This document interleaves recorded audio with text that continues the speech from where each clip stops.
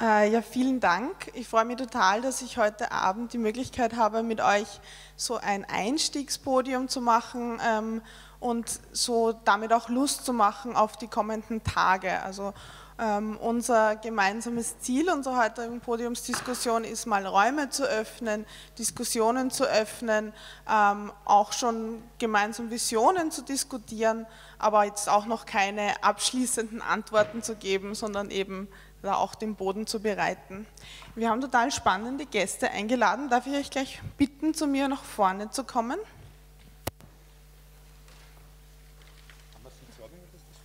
Ähm, ihr könnt euch hinsetzen, wo ihr wollt. Darf ich dir das mal?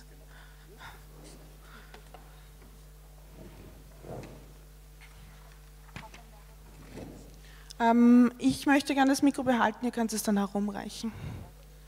Ähm, wir haben jetzt hier eingeladen den Heinz Patzl, der sitzt da, da, zu meiner Linken.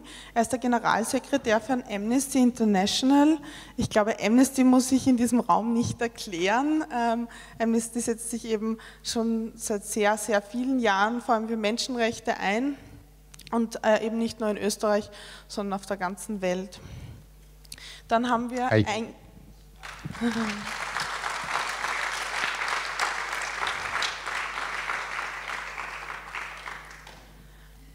dann haben wir eingeladen jemanden, um also um dessen Bewegung es jetzt schon ganz viel gegangen ist, den Clement Könzel von äh, Rettet die Mur. Herzlich willkommen.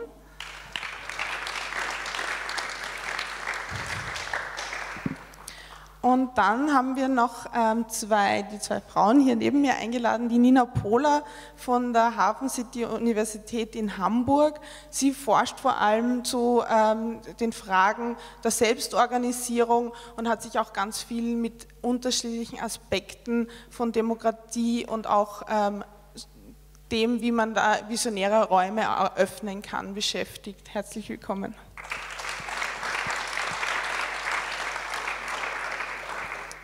Und dann haben wir noch eine, einen Gast aus Deutschland, aus Berlin, äh, die Dorothea Herrlin. Sie ist ähm, aktiv bei Gemeingut in Bürgerinnenhand, also auch bei Attac Deutschland, als auch beim Berliner Wassertisch, also mit sehr unterschiedlichen Aspekten also sozusagen vereint, ähm, ganz, beschäftigt sich ganz viel mit der Frage, wie man ähm, ähm, also quasi öffentliche Dienstleistungen als Gemeingut organisieren kann und damit auch dieser Frage von Privatisierung entgegentreten kann. Herzlich willkommen.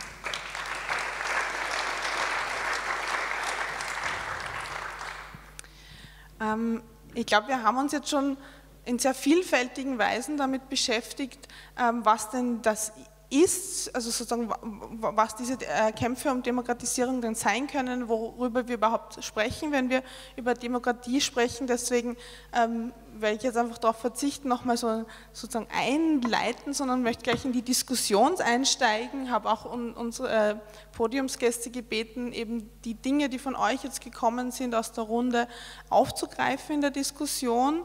Ähm, und ich möchte aber mit dir, Heinz, anfangen, ähm, so ganz ähm, grundsätzlich nochmal das Feld aufzumachen.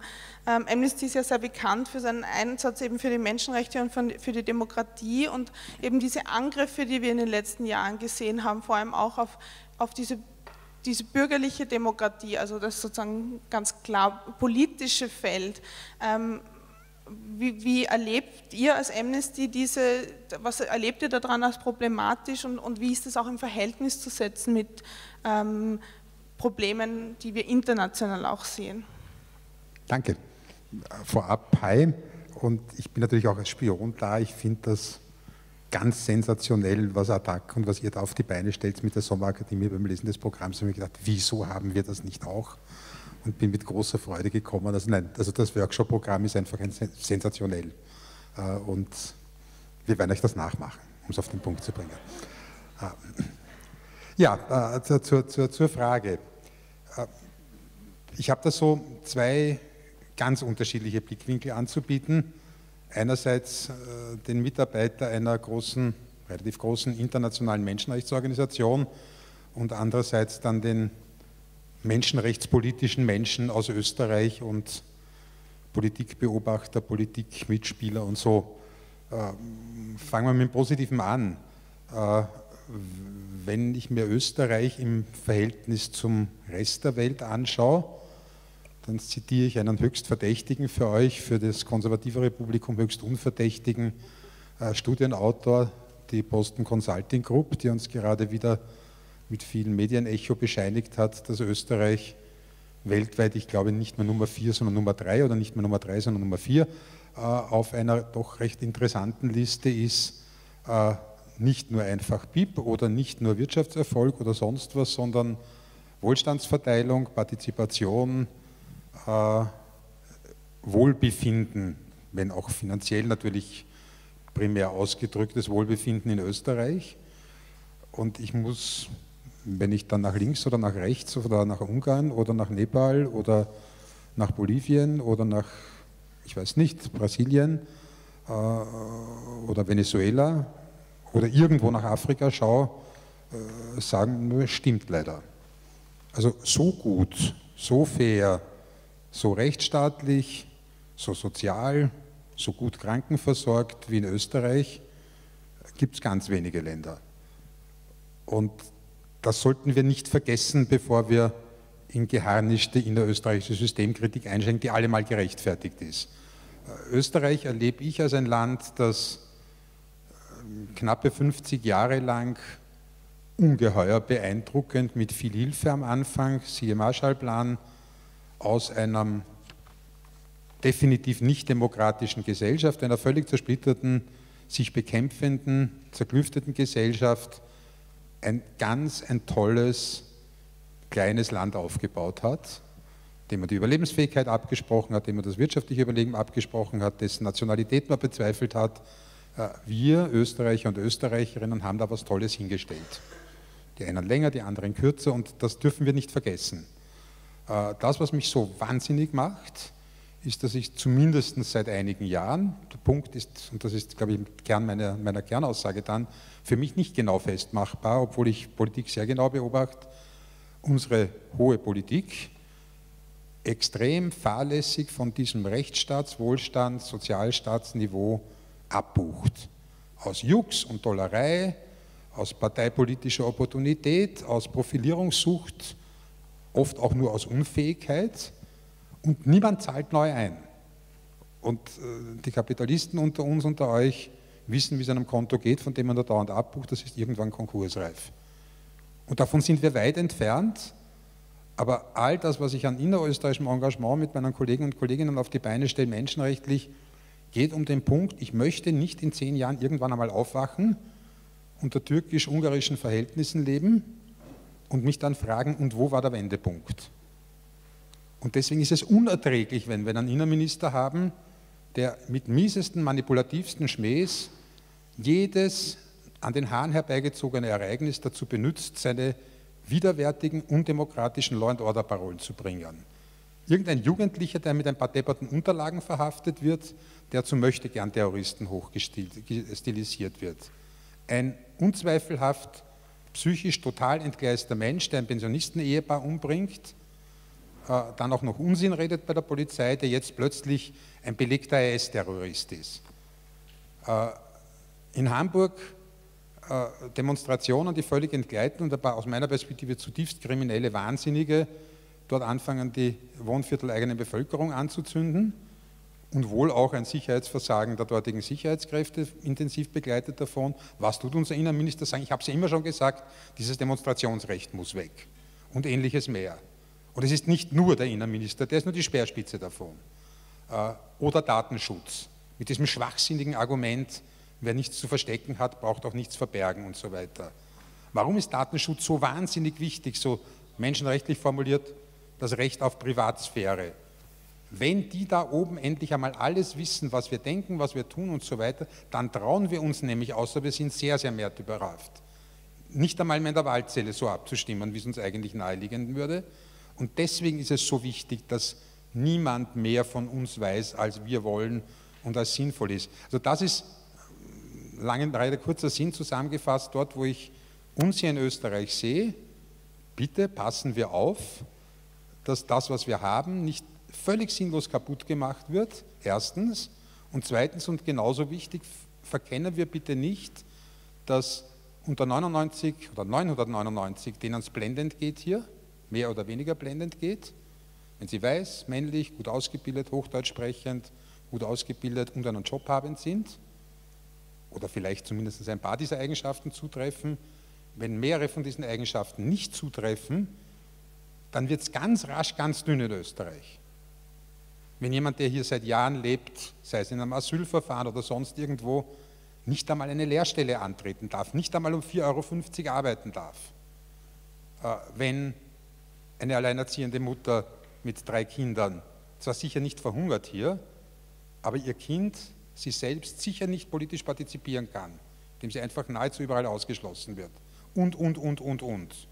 Wir noch immer darüber diskutieren müssen, dass Menschen, die hier wohnen, zumindest regional, lokal mitdiskutieren dürfen äh, und mit abstimmen dürfen und Politik beeinflussen dürfen. Und weil wir Fragen aufgreifen sollen, ich habe die Frage sehr spannend gefunden, Widerstand zu messen.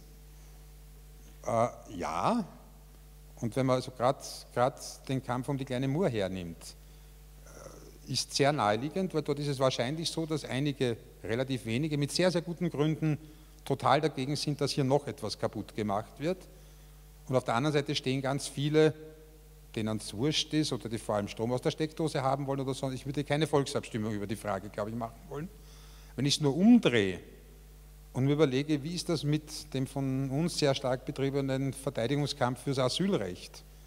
Ich möchte die österreichische Bevölkerung nicht dazu befragen, weder im Kleinen noch im Großen. Und selbst wenn ich dann Widerstand messe, haben dann die gestörten rechten Recken, die niemanden hier haben wollen, der nicht seit mindestens fünf Generationen in Österreich geboren ist, wenn sie besonders laut auf die Straße gehen, die Identitären und, und, und, haben die dann besonders viel Gewicht, weil sie besonders viel Widerstand haben? Also ich glaube, wir müssen auch wahnsinnig aufpassen, und die kontroversielle Botschaft, damit wir ein bisschen was zu diskutieren haben, vergesst bitte nicht, Menschenrechte sind auch ein Schutz vor Demokratie. Nicht nur ein Schutz der Demokratie, zumindest ein Schutz vor der Diktatur der 51 Prozent. Und ich glaube, wir müssen sehr gut aufpassen, dass Demokratie nicht genau diese Diktatur der 51 Prozent machen. Das ist nämlich auch sehr gefährlich. Das war jetzt viel zu lang, sorry.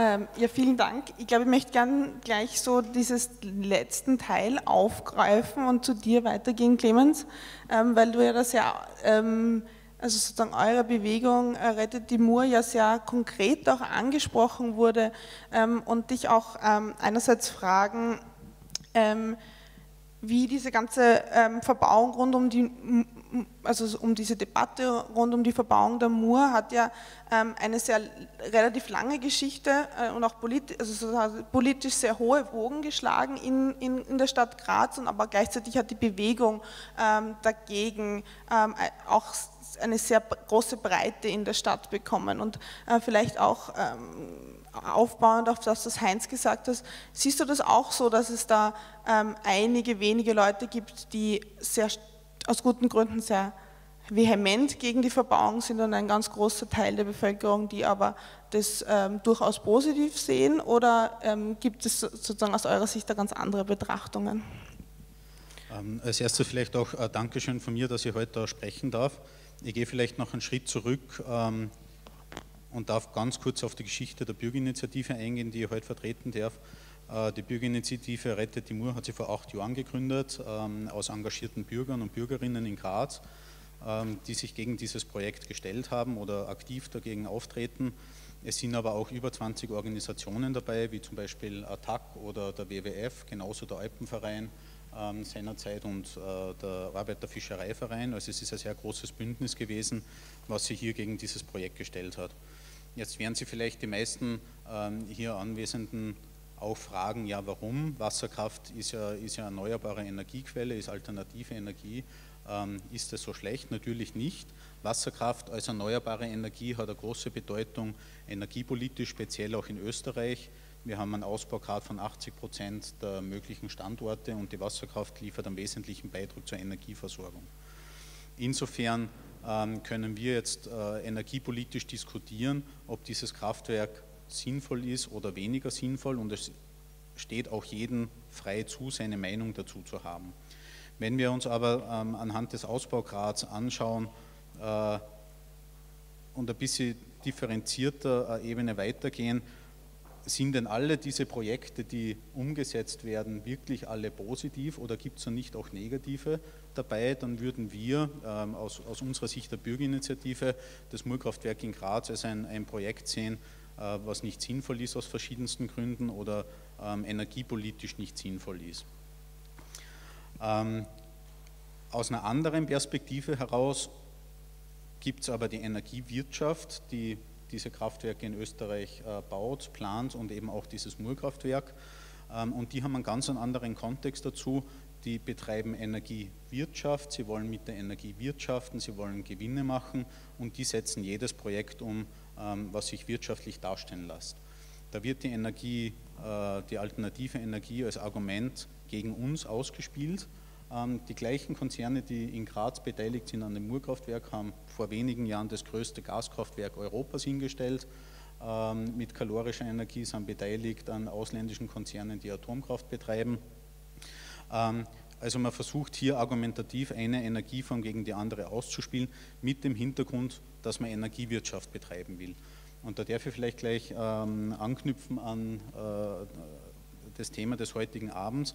Das ist schon das erste aus Demokratie, aus einem, Demokratieverständnis heraus kritisch zu betrachten, dass die Energiewirtschaft abgekoppelt ist von der Energiepolitik, weil die Energiewirtschaft in Wahrheit die Entscheidungen äh, trifft, welche Projekte sie plant, welche Projekte sie einreicht und die Politik nicht mehr macht, als, als zuzuschauen bzw. über Förderungen ähm, auch äh, kritische Kraftwerke äh, in die Wege zu leiten. Ähm, wir haben hier in Graz ein Kraftwerk, was aus unserer Sicht sehr viele Nachteile bringt und wenig Nutzen, weil es relativ wenig äh, elektrische Energie bringt. Es sind einige dieser äh, Nachteile offiziell bestätigt worden in der Umweltverträglichkeitsprüfung. Wir sehen ökologische Nachteile auch für die Stadt Graz und die Gesellschaft. Es ist aber auch ein wirtschaftlich kritisches Projekt. Und jetzt stellt man sich die Frage, warum man gerade ähm, ein Projekt, was, was so was aus diesen Aspekten heraus kritisch betrachtet wird, aber in der Bevölkerung sehr kritisch ist, was die Gesellschaft in Graz durchaus spaltet, warum man das so stark äh, in die Umsetzung bringen will. Ähm, und wir sehen das, und das ist der zweite Anknüpfungspunkt, ähm, wir sehen das als undemokratisches Projekt dahingehend, weil die politischen Verhältnisse in Graz unserer Meinung nach nicht ähm, äh, den politischen Verhältnissen oder Meinungen in der Bevölkerung entspricht. Wir glauben, dass das Murkraftwerk nicht diese Zustimmung in der Bevölkerung hat, wie sie in Graz von ÖVP, FPÖ und SPÖ betrieben wird, mit einer beinahe Zweidrittelmehrheit in der Stadt Graz. Ähm, das war der Grund, warum wir schon vor Jahren eine Volksbefragung angekündigt haben und diese auch versucht haben, in die Umsetzung zu bringen. Nachdem bereits eine Volksbefragung von unserem Bürgermeister Nagel angekündigt wurde, zurückgezogen wurde, es hat Anträge gegeben in den Gemeinderat, also es hat von politischer Seite ganz viele Möglichkeiten gegeben, die Bevölkerung zu befragen zu einem Projekt, was einfach sehr kritisch ist, wo es ja auch keine Eile gibt. Man kann dieses Projekt ja auch nach einem langen Diskussionsprozess in fünf oder zehn Jahren noch in die Umsetzung bringen. Ähm, die Volksbefragung ist aus unserer Sicht sowohl politisch als auch von der Verwaltung ähm, in der Stadt Graz und im Land Steiermark vehement bekämpft worden. Ähm, und da schließe ich schon an an den zweiten kritischen Aspekt, warum dieses äh, Projekt undemokratisch ist. Wir würden uns erwarten als, als, als Bürgerinnen und Bürger einer Stadt, dass die Verwaltung und die Politik uns unterstützt dabei, demokratische Prozesse zu initiieren, egal wie sie denn auch ausgehen. Eine Volksbefragung kann ja auch gegen unsere Interessen ausgehen, wir hätten die ähm, akzeptiert. Tatsächlich war es so, dass die aktiv gegen uns gearbeitet haben und das Präsidialamt, was direkt am Bürgermeister untersteht, eine Fragestellung genehmigt hat, ähm, ursprünglich, die gestern vom Verwaltungsgerichtshof äh, widerlegt worden ist. Das heißt, wir haben äh, demokratische Institutionen oder Institutionen in unserer Demokratie, die nicht mehr den Interessen oder in diesem, in diesem Fall nicht den Interessen der Bürgerinnen und Bürger dient, sondern den Interessen der Energiewirtschaft, die wie gesagt abgekoppelt ist von der Energiepolitik. Ähm, Magst du es vielleicht erst einmal da belassen? Du hast ja nochmal eine Möglichkeit, nochmal was anzufügen. Okay, dann werde ich, ja. dann, dann, werde ich dann weiter schließen. Ja, ja gut. ähm, Dorothea, darf ich zu dir kommen? Ähm, vielleicht, dass wir jetzt so ein bisschen ähm, nochmal den Fokus auf ein anderes Thema lenken. Ähm, vorher ist in der Debatte gekommen, also in den, in den äh, Stimmen aus dem Publikum, ja, dass es für eine wirklich umfassende Demokratisierung äh, auch das Infragestellen dieses Begriffs des bürgerlichen, also dieses bürgerlichen Eigentums äh, braucht. Das ist ja etwas, was ihr auf eine gewisse Weise auch tut. Ähm, und deswegen meine Frage auch an dich, ähm, also das ist ähm, das, was der Berliner Wassertisch und auch ähm, Gemeingut in Bürgerinnenhand tut, ist ja sehr stark diese Privatisierung in Frage zu stellen. Das, und das eint uns ja auch mit diesen ähm, ist ja auch eines der Kernthemen von Attac. Und äh, deswegen möchte ich dich auch fragen, welche aktuellen Herausforderungen ihr da gerade erlebt in, in euren Kämpfen und auch, äh, ob du etwas erzählen kannst eben über die Erfolge auch des Berliner Wassertischs. Okay, vielleicht ganz kurz zu meiner Vorstellung. Ich sitze hier als Twitter denn einerseits bin ich Gründungsmitglied des Berliner Wassertischs und wir haben erreicht, dass 2014 die Berliner Wasserbetriebe wieder rekommunalisiert wurden. Das war ein Riesenerfolg, der weltweit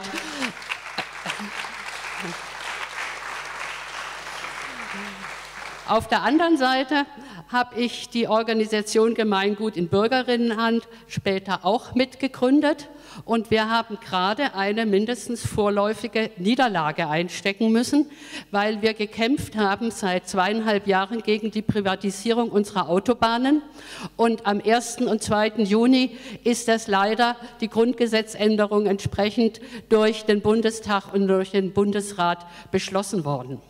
Ich will vielleicht so weit sagen, meine Mitgliedschaft in ATTAC verstehe ich so ein bisschen als die Klammer von beiden. Und ich glaube, da haben wir heute nicht die Zeit, aber generell ist es für uns auch sehr wichtig zu überlegen, wie wir mit Erfolgen, aber auch mit Niederlagen umgehen. Dazu komme ich aber lieber noch mal später. Aber erst mal zu dem Erfolg. Die äh, Berliner Wasserbetriebe äh, sind und waren well, ähm, europaweit die größten Wasserbetriebe und sie wurden 1999 ähm, teilprivatisiert. Heute nennt man das Public-Private Partnership, öffentlich-private Partnerschaft. Das erkläre ich vielleicht noch mal ein bisschen später. Auf jeden Fall wurden die 1999 an Veolia und RWE zu 49,9 Prozent verkauft unter unmöglichen Bedingungen. Das heißt für 30 Jahre und mit einer Gewinngarantie von mindestens 10 Prozent aufs, äh, aufs laufende Kapital.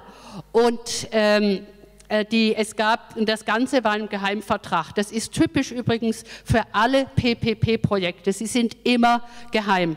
Und wir haben 2006, also ich will mal sagen, 2004 hat eine kleine Attackgruppe in Berlin angefangen, sich damit zu beschäftigen.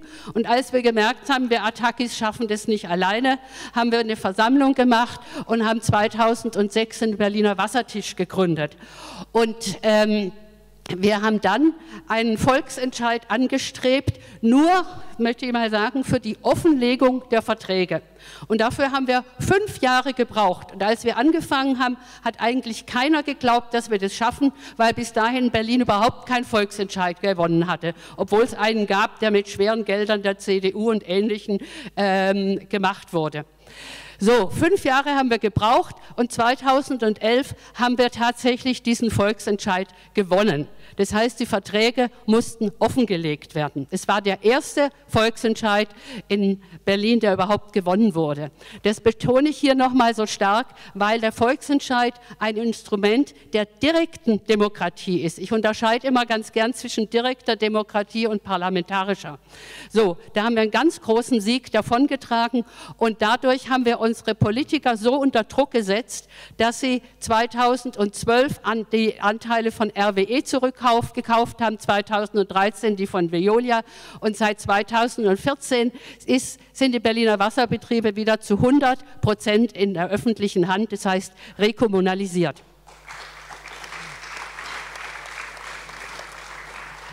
Aber Ich muss dazu sagen, wenn ein, äh, wenn ein öffentliches Gut wieder in öffentlicher Hand ist, heißt das noch lange nicht, dass sie deswegen demokratisch sind.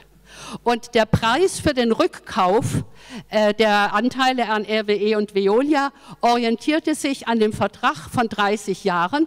Das heißt, Berlin hat den beiden Konzernen den Gewinn bis 2028 bar auf den Tisch gelegt. Und deswegen war der Preis natürlich viel zu hoch. Und wir haben damals eine Aktion gemacht. Wir haben im Abgeordnetenhaus Zettel runtergeschrieben, hier goldener Handschlag für RWE. Dafür durfte ich dann ein Jahr lang nicht mehr ins Berliner Parlament. War auch nicht so schlimm. Und wir standen dann auch vor dem Abgeordnetenhaus mit einem Transparent nach Rekommunalisierung, Demokratisierung. Und ein rekommunalisierter Betrieb ist noch lange nicht das, was wir wollen als Wasserbewegung, denn wir möchten Wasser als Gemeingut. Und das ist nochmal was ganz anderes. Und deswegen gibt es uns als Wassertisch immer noch und, und, sind wir sehr stark noch damit beschäftigt, aber auch die internationale Wasserbewegung übrigens. Was heißt es, dass ein öffentliches Gut Gemeingut ist? Und ihr schreibt hier in eurem Programm, wir müssen nicht nur die Angriffe auf Demokratie abwehren, sondern auch an grundlegende andere Perspektiven arbeiten. Den ersten Punkt haben wir in Berlin ein Stück weit gebracht, den zweiten noch lange nicht. Das heißt, da ist noch eine Menge zu tun. Ähm, so viel erstmal vielleicht zu unserem Erfolg. Soll ich noch ein Wort zu GIP sagen oder später? Äh, versuch noch mal kurz zu erklären, aber du hast uns, äh, Nina, glaube ich, schon viele Stichworte gegeben. Das ist sehr schön. Also Gemeingut in Bürgerinnenhand wurde übrigens gegründet, weil wir alle Attackis sind, aber der Meinung waren, dass Attac sich um das Thema Privatisierung, Ausverkauf der öffentlichen Güter zu wenig kümmert. Deswegen haben wir einen eigenen Verein gemacht, aber wir arbeiten so weit wie möglich mit Attac immer zusammen. Das ist ja nun mal klar. Und wir haben seit äh, vor zweieinhalb Jahren ist uns bekannt geworden, dass unser damaliger Wirtschaftsminister Gabriel äh, die marode Infrastruktur, die ist tatsächlich in Deutschland sehr zu Schanden geritten worden, dass er die sanieren wollte durch auch eine, äh, die Gründung einer Infrastrukturgesellschaft. Und dazu sage ich vielleicht lieber nochmal, das heißt äh, später was, das heißt, die, die äh, Autobahnen und einige Fernstraßen als PPP den Versicherungen und Banken zu, als Anlageprojekt anzubieten. Und das haben wir seit zweieinhalb Jahren, führen wir bei GIP eine große Kampagne dagegen. Und ich habe vorhin schon gesagt, leider wurde es trotzdem erstmal beschlossen. Aber ich sage erstmal, weil wir natürlich nicht aufgeben und noch alles ausloten, was vielleicht noch möglich ist. Ja, vielen Dank. Ähm, Nina, ich glaube, ähm, Dorothea hat ja schon ganz klar gemacht, ne? also Rekommunalisierung ist noch keine Demokratisierung dieser Betriebe. Und das ist ja etwas, wo du dich sehr stark damit beschäftigst, wie kann denn das auch wirklich funktionieren, ähm, dass ähm, Betriebe auch kollektiv verwaltet werden, da auch Entscheidungen ähm, gemeinsam getroffen werden? Und ich glaube, das ist auch etwas, wo wir selbst in unserer Bewegung und ähm, auch immer wieder vor großen Fragezeichen stehen. Und ähm, ich würde mich freuen, wenn du uns sozusagen auch etwas erzählen kannst über diese Bewegung ähm, rund um, um äh, äh, selbstverwaltete Betriebe, was das auch für international ähm, schon für Dimensionen angenommen hat und auch etwas, ähm, was so die zentralen Anliegen, aber auch Herausforderungen dieser Betriebe sind. Ähm, okay, danke. Äh, vielleicht fange ich mal so an, dass ähm, es gibt ja nicht nur kollektive Betriebe. Also wenn wir quasi darüber reden, was ist Demokratisierung und was brauche ich noch mehr, ähm, außer die äh, Rekommunalisierung, dann geht es ja quasi um die Frage, wie kann ich selbstverwaltete Strukturen schaffen, wie kann ich Strukturen schaffen, wo alle Menschen, die von einer bestimmten Sache betroffen sind, sich gemeinsam beteiligen können. Und ähm, ich schaue mir in meiner ähm, Dissertation, in meiner Doktorarbeit, schaue ich mir eben selbstverwaltete Betriebe an, weil ich mir gedacht habe, dass quasi der Bereich der Lohnarbeit ist der Bereich, wo leider die meisten, also die meisten Menschen den Großteil ihrer Zeit damit verbringen, ähm, dass sie Lohnarbeiten gehen. Und ich wollte mir eben anschauen, wie, wie kann das eigentlich funktionieren und was macht es eigentlich für einen Unterschied, wenn ich quasi in meiner Lohnarbeit oder in, in der Arbeit, die ich erbringen muss, um, um mich ernähren zu können, ähm, die Möglichkeit habe, mich wirklich tagtäglich einzubringen. Und ich glaube, dass das so Erfahrungen sind, die, ähm, wenn wir über Demokratisierung sprechen, ganz wichtige Erfahrungen sind. Ähm, und es sind aber auch Erfahrungen, die immer wieder kleingeredet werden ähm, und die immer wieder angezweifelt werden. Ähm, also bei mir ist es zum Beispiel so, jedes Mal, wenn ich Menschen äh, davon erzähle, dass ich ähm, selbst äh, verwaltete Betriebe erforsche, dann ähm, wollen sie sofort mit mir darüber reden, aber meistens, um gleich mal abzuprüfen, ob ich genauso wie sie der Meinung bin, dass das ja eigentlich nicht funktionieren kann. Also wenn ich so, das ist, es wirklich immer ganz spannende Direktion. Die, die erste Frage ist dann meistens so, arbeiten die dann noch wirklich alle? Also wenn es da keine Kontrolle gibt. Ähm, die zweite Frage ist dann meistens so, und wie funktioniert das? Die streiten sich dann doch alle, oder? Und dann sitzen sie doch stundenlang da und können sich nicht entscheiden und so. Ähm, genau, und dann, dann ist die dritte Frage, wenn ich erklärt habe, nein, funktioniert eigentlich ganz gut, dann wird sofort davon ausgegangen, dass das dann vielleicht doch ein profitorientiertes Unternehmen ist. Das heißt, es gibt da wirklich ganz viele Zweifel, ähm, ob sowas überhaupt funktionieren kann. Und ich glaube, der Grund, wieso es da so viele Zweifel gibt, ist, weil wir normalerweise in unserem Leben nur ganz selten diese Möglichkeit überhaupt haben, zusammen mit anderen Menschen an einem Projekt zu arbeiten und da eben auch diese Erfahrung zu machen, dass das funktionieren kann und dass man da zusammen mit anderen Menschen auch äh, wirkmächtig werden kann. So. Und ähm, weil, weil du das gerade angesprochen hast, Juliane, was es so gibt oder so, ähm, ich, ich habe mir so Zahlen aufgeschrieben. Eine Zahl, die ich total spannend finde, ist, ähm, die ist leider schon wieder Geschichte. Äh, und zwar ist das eine Zahl aus Deutschland. Äh, und da ist es so, dass es Mitte der 80er Jahre gab es in Deutschland noch ähm, gab es eine Studie, da wurden 400 Alternativprojekte gezählt, in denen 24.000 Menschen beschäftigt waren. Ähm, das heißt, es gab quasi in Deutschland gab es so, gab's so eine Phase, äh, da kam aus der deutschen Alternativbewegung, gab es so eine Gründungswelle von Kollektivbetrieben. Ähm, das Problem bei denen war leider, ähm, dass die äh, das in einer Zeit gemacht haben, in der das wirtschaftlich einfach prinzipiell nicht so gut ausgeschaut hat und ähm, dass viele Kollektivbetriebe auch wieder zusperren müssen, weil die auch teilweise ganz also schlecht finanziert waren. Das ist oft ein Problem von Kollektivbetrieben, die bekommen nicht so leicht Kredite, die sind einfach von Anfang an viel schlechter finanziert. Das ist eine, eine Zahl, die Geschichte ist. Ähm, ich habe eine Zahl, die ist keine Geschichte ähm, und die ist aus Spanien und da ist es so, dass ähm, das ist eine Zahl von 2015. Das ist so, dass es in Spanien gibt es gerade 18.000 Betriebe, die den Arbeitnehmerinnen gehören oder den Arbeiterinnen und in denen arbeiten insgesamt 300.000 Menschen. Und das ist halt schon nochmal eine ganz andere Zahl. Äh, woran man noch sieht, dass es vielleicht auch äh, etwas mit dem Kontext zu tun hat, in dem man sich gerade befindet, ob äh, und wie viele von diesen Betrieben es gibt. Ich habe noch eine Zahl, die ist aus Großbritannien und da ist es so, dass es ähm, in Großbritannien gibt es eine Genossenschaftsbewegung und Kultur, die ist sehr viel stärker als in deutschsprachigen Ländern und ist nicht so stark wie in Spanien, aber da gibt es im Moment 403 ähm, Kollektivbetriebe in, in Eigentum und Hand von Arbeiterinnen. Genau, und, und ich finde, an, an, anhand von dieser Frage, Kollektivbetrieb, kann das funktionieren oder nicht, was halt immer ganz spannend ist und was überhaupt bei so selbstverwalteten Projekten total spannend ist, ist, dass sobald sie da sind, ist es für alle Leute total selbstverständlich. Ähm, wenn sie nicht da sind, glauben immer alle Leute, dass das eine ganz komische, utopische Vorstellung ist und überhaupt nicht funktionieren kann. Ähm, dazu würde ich gerne noch ein, ein, Beispiel bringen. Ich komme nämlich aus Hamburg äh, und Hamburg ist gerade wegen ganz anderen Dingen in den Medien. Ähm, aber eine Sache, die in Hamburg total erstaunlich ist und die mir auch lange gar nicht klar war, wie toll das eigentlich ist, ist, dass es in Hamburg unzählige ähm, selbstverwaltete Kulturzentren, Bars, Kneipen und Gruppen gibt was ähm, eine, eine ganz tolle Auswirkung auf die politische Szene in dieser Stadt hat, weil es gibt immer irgendwelche Räume, wo Menschen sich treffen können, um miteinander zu reden. Und ähm, ich habe das am Anfang des Jahres habe ich das erlebt. Da hatten wir zwei Aktivistinnen aus Toronto da, die wir alles so eingeladen haben, weil wir es so spannend gefunden haben, was die Leute in Toronto eigentlich machen. Und ähm, die wir haben mit denen so einen Workshop gemacht im Gängeviertel. Ich weiß nicht, ob das Gängeviertel ein Begriff ist hier. Das ist ein, ein riesiges ähm, Zentrum, das sich quasi Künstlerinnen zusammen mit politischen Aktivistinnen erkämpft haben vor ein paar Jahren. Und ähm, ich, ich sitze halt so mit den beiden da drinnen und wir bereiten eine Diskussion vor und sie machen halt überall Fotos und erzählen mir, wie toll sie das finden, dass es in Hamburg diese Orte gibt.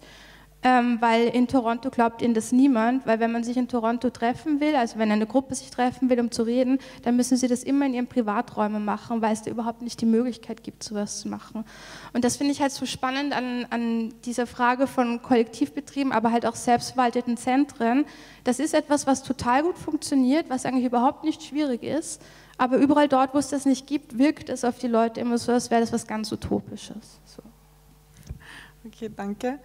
Ähm, ich, ich, möchte jetzt noch eine zweite Runde auf dem Podium machen, würde euch aber jetzt schon einladen, auch nachzudenken, ähm, ob ihr denn, welche Fragen ihr auch selber stellen wollt oder auch, ob ihr selber ein kurzes Statement machen wollt. Also das schon mal vorzubereiten. Aber ich würde dich, Heinz, jetzt gerne nochmal fragen.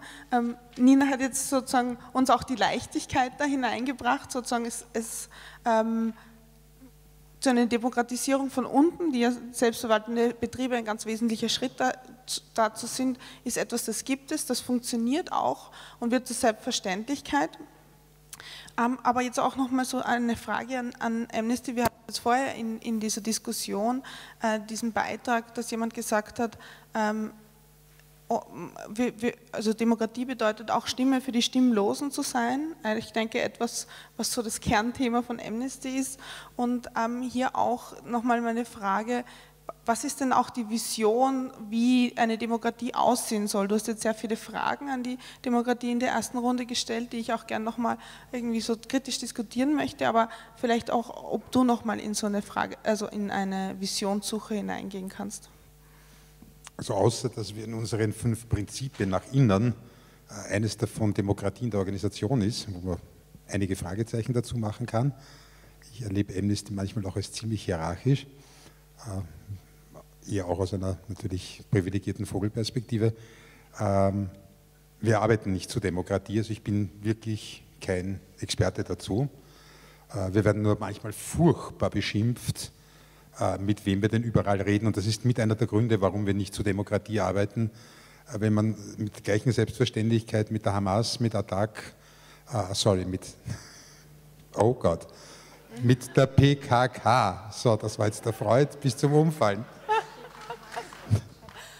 Ja, also wenn man mit der Hamas und äh, PKK redet, was natürlich aus vielen Perspektiven ganz indiskutabel ist, äh, und selbstverständlich auch versucht, mit einem Herrn Erdogan oder einem Herrn Orban in irgendeiner Form in einer, wenn auch kritischen Kommunikation zu sein, fragt man besser nicht, wie diese diversen Mächtigen legitimiert sind. Oder umgekehrt, also selbst mit sehr beschränkten oder sehr bürgerlichen Vorstellungen von dem, was Demokratie ist, wäre die Anzahl an Regierungen, mit denen man weltweit agieren kann, wenn man sich auf wie auch immer demokratisch Legitimierte beschränkt, das wäre eine ziemlich enden wollende Geschichte. Äh, also einer der vielen Gründe, warum ich einfach kein Demokratieprofi bin. Ich habe es vorhin schon ein bisschen anklingen lassen und, und wann immer ich höre, in Österreich, wir wollen mehr direkte Demokratie haben, dann habe ich eher Angst als Freude. Äh, aber ich glaube, das hat vor allem mit unseren Arbeitsthemen zu tun, wo Fremde vorkommen, äh, wo Asylwerberinnen, Asylwerber vorkommen, wo wir uns angeblich laufend für Verbrecher einsetzen, stimmt, nämlich für deren Menschenrechte, aber nicht für den, der ein Verbrechen begangen hat, der nach, nach unseren Vorstellungen hinter geschlossenen Regeln gehört. Wir versuchen äh, sehr viel auch für die Betroffenen von Menschenrechtsverletzungen äh, uns zu engagieren. Also ich glaube, wir wissen schon, was es heißt, auch aus einer Position der Schwäche zu reden. Ich habe keine Patentlösung davor. Ich äh, versuche nur wirklich darauf hinzuweisen, passen wir ganz gut auf, dass wir, wenn wir über Demokratisierung und ein Mehr an Demokratisierung sprechen, nicht in diese Riesengefahr einer 51-Prozent-Diktatur hineinkommen.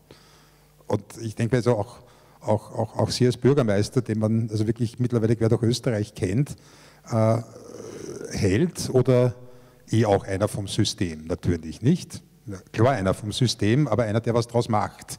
Also was es heißt, hier als Bürgermeister in Niederösterreich im Großfürstentum Bröl bis vor kurzem äh, gegen TTIP aufzutreten oder gegen die Wirtschaft aufzutreten, ich kann mir das ganz gut vorstellen. Ich freue mich nachher, wenn wir darüber plaudern können.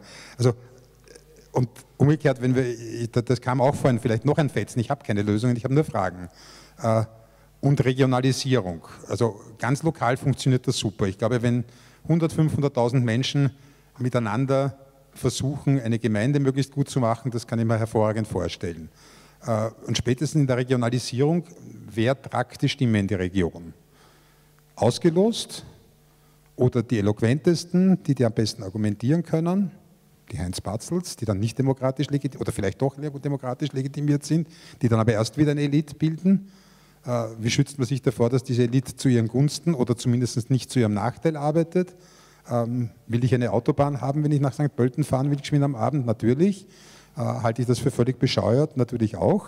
Also äh, wo, wo endet was? Äh, und Selbstverwaltung ganz großartig.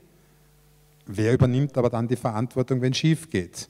Eins habe ich nämlich auch gelernt. Kollektive oder das Plenum, das ist niemand mehr accountable. Und das ist wichtig, weil sonst traut sich ja keiner mehr, auch nur eine Stimme abzugeben oder eine Hand zu heben oder auch nur eine Position zu beziehen. Aber das hat auch ganz erhebliche Gefahren in sich. Wir haben gerade einen ganz großen Veränderungsprozess bei Amnesty, wo wir vieles in Frage stellen und ähnliches mehr. Da geht es um Accountability und um Zuständigkeit und Subsidiarität. Was soll in der Region, was soll im Staat passieren, im einzelnen Land, was soll bei der einzelnen Amnesty-Struktur, in der einzelnen Amnesty-Gruppe sein und wofür braucht es die Entscheidungen oben, die gemeinsamen. Äh, das ist nicht, also das ist verdammt schwer zu beantworten, selbst in einer Gemeinschaft von ein paar hunderttausend, also zutiefst über die Menschenrechte miteinander verbundenen Menschen. Da geht es plötzlich um Stimmgewichte und ich gebe nur ein einziges Beispiel. Es gibt ein großes Amnesty-Parlament, das alle drei Jahre tagt, äh, wo wir ein Stimmrechtssystem haben, das schon abgestuft ist mit 1, 2, 3, 4 Stimmen, aber ganz stark disproportional, selbst die 100-Leute-Struktur aus irgendwo, nennen wir Afrika oder auch nur Osteuropa, hat eine Stimme und alle Amnesty USA-Mitglieder haben sechs Stimmen.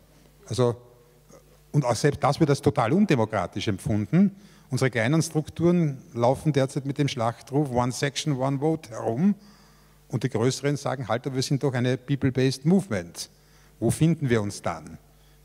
Und das ist eine spannende Frage und nicht leicht zu beantworten.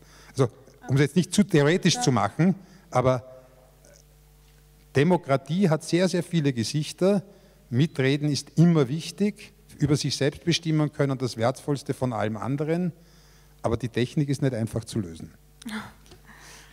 Ähm, okay, danke. Ich glaube, äh, du bist wirklich hier unser Mahner, der uns ähm, immer wieder daran erinnert, dass das ähm, es nicht nur also sozusagen, dass auch wir die, die Lösungen nicht gepachtet haben, aber vielleicht, äh, ich glaube auch, ihr, also ihr beide habt sehr viel Erfahrungen in sozialen Bewegungen, in dem auch, wie man intern ähm, wirklich andere Strukturen ähm, aufbauen kann und wie man damit auch erfolgreiche Kämpfe ähm, gewinnen kann. Darf ich das Mikro nochmal haben? Ähm, Dorothee, vielleicht möchtest du uns da aus deiner Erfahrung etwas erzählen. Ja, ich wollte vorhin schon, weil auch aus dem Publikum die Frage nach Stimmen und, äh, kam, was dazu sagen. Ich denke, wirkliche Demokratie klappt nur im Konsens und kann nicht im Auszählen von Stimmen bleiben was nicht heißt, dass wir im Augenblick in der parlamentarischen Demokratie, die wir haben, das nicht umsetzen können.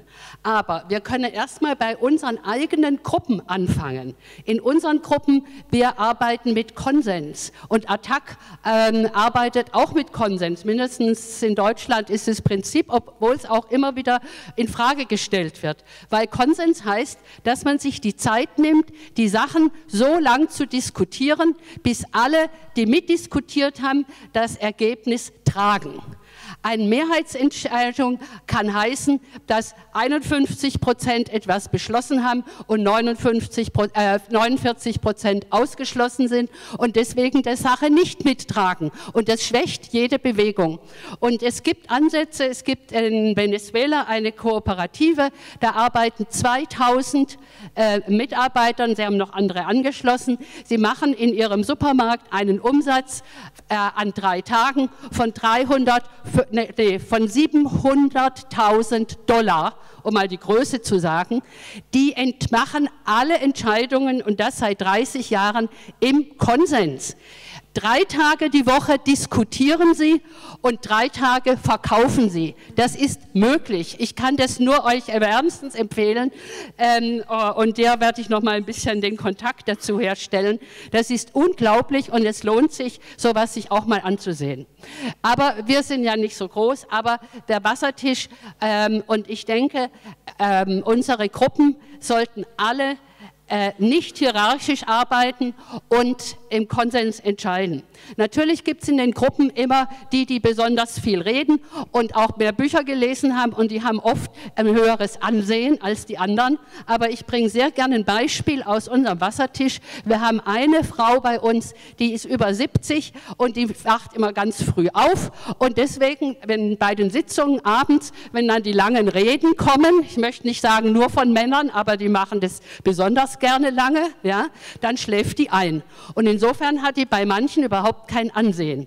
Wenn ich aber diese Frau anrufe und sage, Karin, morgen müssen wir vorm Abgeordnetenhaus stehen, kannst du heute noch ein Transparent machen ähm, nach Rekommunalisierung, Demokratisierung, dann macht sie das. Und sie ist diejenige, ihr habt sicher schon viele Fotos gesehen von Attac Deutschland, die macht Riesenpuppen.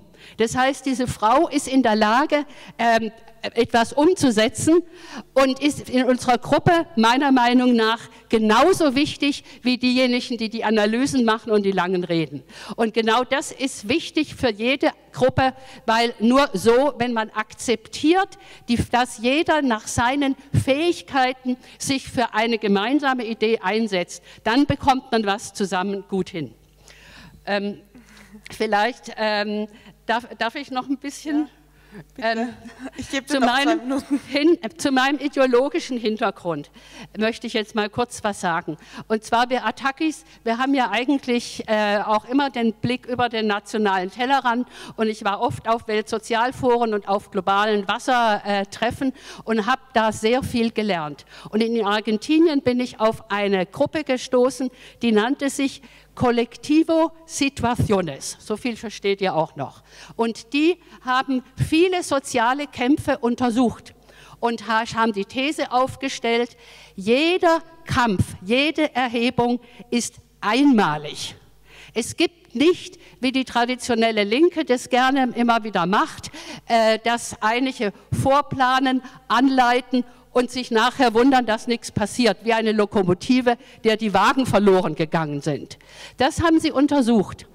Und naja, nun könnt ihr sagen, das ist ja eine Aufforderung zum Nichtstun. Aber das ist natürlich überhaupt nicht der Fall.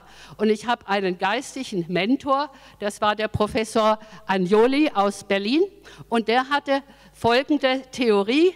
Er fragte, was machen wir in Zeiten des Winters? Ja? Wir, unsere, wir sind ja oft leider in Zeiten des Winters. Da sagt er, da sind wir die Maulwürfe und wir buddeln so lange, bis irgendwann die Sache zusammenkracht. Und ich persönlich bin absolut Maulwurf und hoffe, dass hier viele Maulwürfe sitzen. Und nach dieser Logik äh, kann ich vielleicht nachher noch mal sagen, warum wir beim Wassertisch gewonnen und bei äh, GIP erstmal verloren haben. Aber ich denke, solche Gedanken sind auch ganz wichtig für uns als Bewegung, dass man, äh, weil wir ja alle so ein bisschen dieses normale Erfolgsdenken äh, im Kopf haben, aber das ist nochmal so ein bisschen andere Herangehensweise. Mhm. Ähm, Clemens, möchtest du uns vielleicht auch so aus, aus deiner Erfahrung rund um die Sozial also um diese Bewegung gegen das Murkraftwerk und auch was euch quasi so erfolgreich gemacht hat, auch diese Frage nochmal an dich. Ja, gerne. Ich möchte vielleicht anschließen an die Dorothea. Ähm, du hast ja diesen Konsens ganz stark hervorgehoben und ich glaube, den braucht es auch in der Gesellschaft und der Demokratie. Ähm, die Dorothea hat den Konsens hervorgehoben und ich glaube, das ist ganz wichtig für äh, demokratische Gestaltung in unserer Gesellschaft. Dafür braucht es auch eine lange Diskussion und dafür braucht es aber auch ähm, Information für die Bevölkerung. Und wenn wir heute die, die Tageszeitungen in den steirischen äh, Regionalmedien durchlesen, dann sehen wir unsere politischen Vertreter, die darüber jubeln, dass ein, ein demokratisches Instrument, nämlich die Volksbefragung, nicht angewandt wird. Und da, da ähm, hätten wir in Graz, zumindest in Bezug auf dieses Projekt, ja durchaus zu einem Konsens kommen können. Ich sehe das vielleicht in einem, in einem Kontext auch mit ähm, äh, einer globaleren politischen Lage, wenn wir uns anschauen, was passiert in der Türkei oder was passiert auch mit Trump. Äh, ganz ein wesentlicher Faktor ähm, für die, für die Gestaltung der Gesellschaft oder für, einen verantwortungsvollen, für ein verantwortungsvolles Zustandekommen eines Konsens hat die Medienlandschaft nicht nur bei uns in Österreich, sondern auch äh, eben in der Türkei oder in den Vereinigten Staaten oder in Frankreich, ist egal. Ähm, und das bereitet mir vielleicht aktuell am meisten Sorge. Ich sehe einfach, dass die Medien immer weniger Ressourcen zur Verfügung haben, äh, Themen sauber auszuarbeiten, Themen sauber aufzubereiten für die Bevölkerung. Gleichzeitig aber die Bereitschaft von Seiten der Politik oder von der Wirtschaft, auch mit alternativen Fakten an die Bevölkerung heranzugehen, ähm, immer stärker wird. Und da sehe ich eine große Schere, die sich auftut und die wird, die wird uns in den nächsten Jahren wahrscheinlich auch noch begleiten und immer größer werden. Ähm, und das kann sehr leicht dazu führen, dass der Konsens nicht hergestellt wird, sondern in, in einer populistischen Art und Weise über die Medien an uns herangetragen wird. Das ist eine sehr große Sorge, die sie mir bereitet. Ähm, die Ursache für die, für die Schwächung der Medienlandschaften in Österreich, in Europa, auf der Welt, ähm, glaube ich, ist die Digitalisierung. Und das ist aber vielleicht etwas, was für uns eine sehr große Chance bietet, weil es gleichzeitig noch nie so einfach war, unsere Meinung kundzutun, unsere eigenen Kommunikationskanäle aufzubauen und unsere eigenen Informationen hinauszutragen in die Welt. Das ist vor 20 Jahren ohne Computer, ohne Internet noch nicht gegangen. Wir brauchen keine großen Medienkonzerne mit, äh, mit Druckwerken im Hintergrund. Es reicht der Computer und wir können loslegen und wir können unsere Medienlandschaft gestalten, wir können unsere Demokratie mitgestalten und wir können dann auch die Digitalisierung mitgestalten. Und da mag ich vielleicht auch in, in die heutige Diskussion ein, ein bisschen einen, einen, positiven, einen positiven Spin reingeben. Ähm, auch, wenn, auch wenn schlechte Entscheidungen getroffen werden durch unsere politischen Vertreter in der Demokratie, so haben wir immer noch die Möglichkeit, ähm, Gutes zu machen oder unsere Sache gut zu machen. Und dann darf ich vielleicht noch an den Beginn der Veranstaltung ran, äh, anführen, dann führen wir auch ein gutes Leben und dann gestalten wir Demokratie, Gesellschaft, Medien und unser Miteinander und ich glaube, da haben wir so viel Macht wie noch nie. Wir brauchen es nur machen. Ähm, ich glaube, danke. Ähm, Nina, wir, wir müssen es nur machen. Wir haben sozusagen die Tools in, in, in den sozialen Medien. Du hast ja sehr viel mit dieser Frage der, des, also des Gemeinguts, des sogenannten Big Data beschäftigt. Ähm, was sind da so Ansätze, die, die ihr auch verfolgt rund um dieses Thema? Ähm, äh, danke, ähm, äh, danke. Also äh, übrigens überhaupt nochmal, das äh, mochte ich gerade sehr eure, eure Konsensbefürwortung. Und äh, bevor ich was zu Big Data sage, wollte ich noch äh, sagen, dass, also ich finde, das klingt ja total spannend, was ihr bei Amnesty macht. Und ich glaube, das, was hier, glaube ich, auch schon immer wieder durchgekommen ist, ist ja, dass Demokratie ist ja kein Prozess, es gibt keine Einmallösung, also Demokratie ist ein Prozess, sorry, es gibt keine einmalige Lösung dafür. Und wenn ihr jetzt ein System für eure Stimmen findet und in einem Jahr muss es wieder geändert werden, dann ist das halt so, ne? Also ich meine, ein Vorteil, also es spricht für Amnesty, wenn sowas überhaupt möglich ist. Ähm, und äh, zu dem, was du gerade angesprochen hast, Juliane, und zu dem, was du vorhin gerade angesprochen hast mit den Medien und jetzt im digitalen Zeitalter, ähm, können wir das ja ähm, selber machen.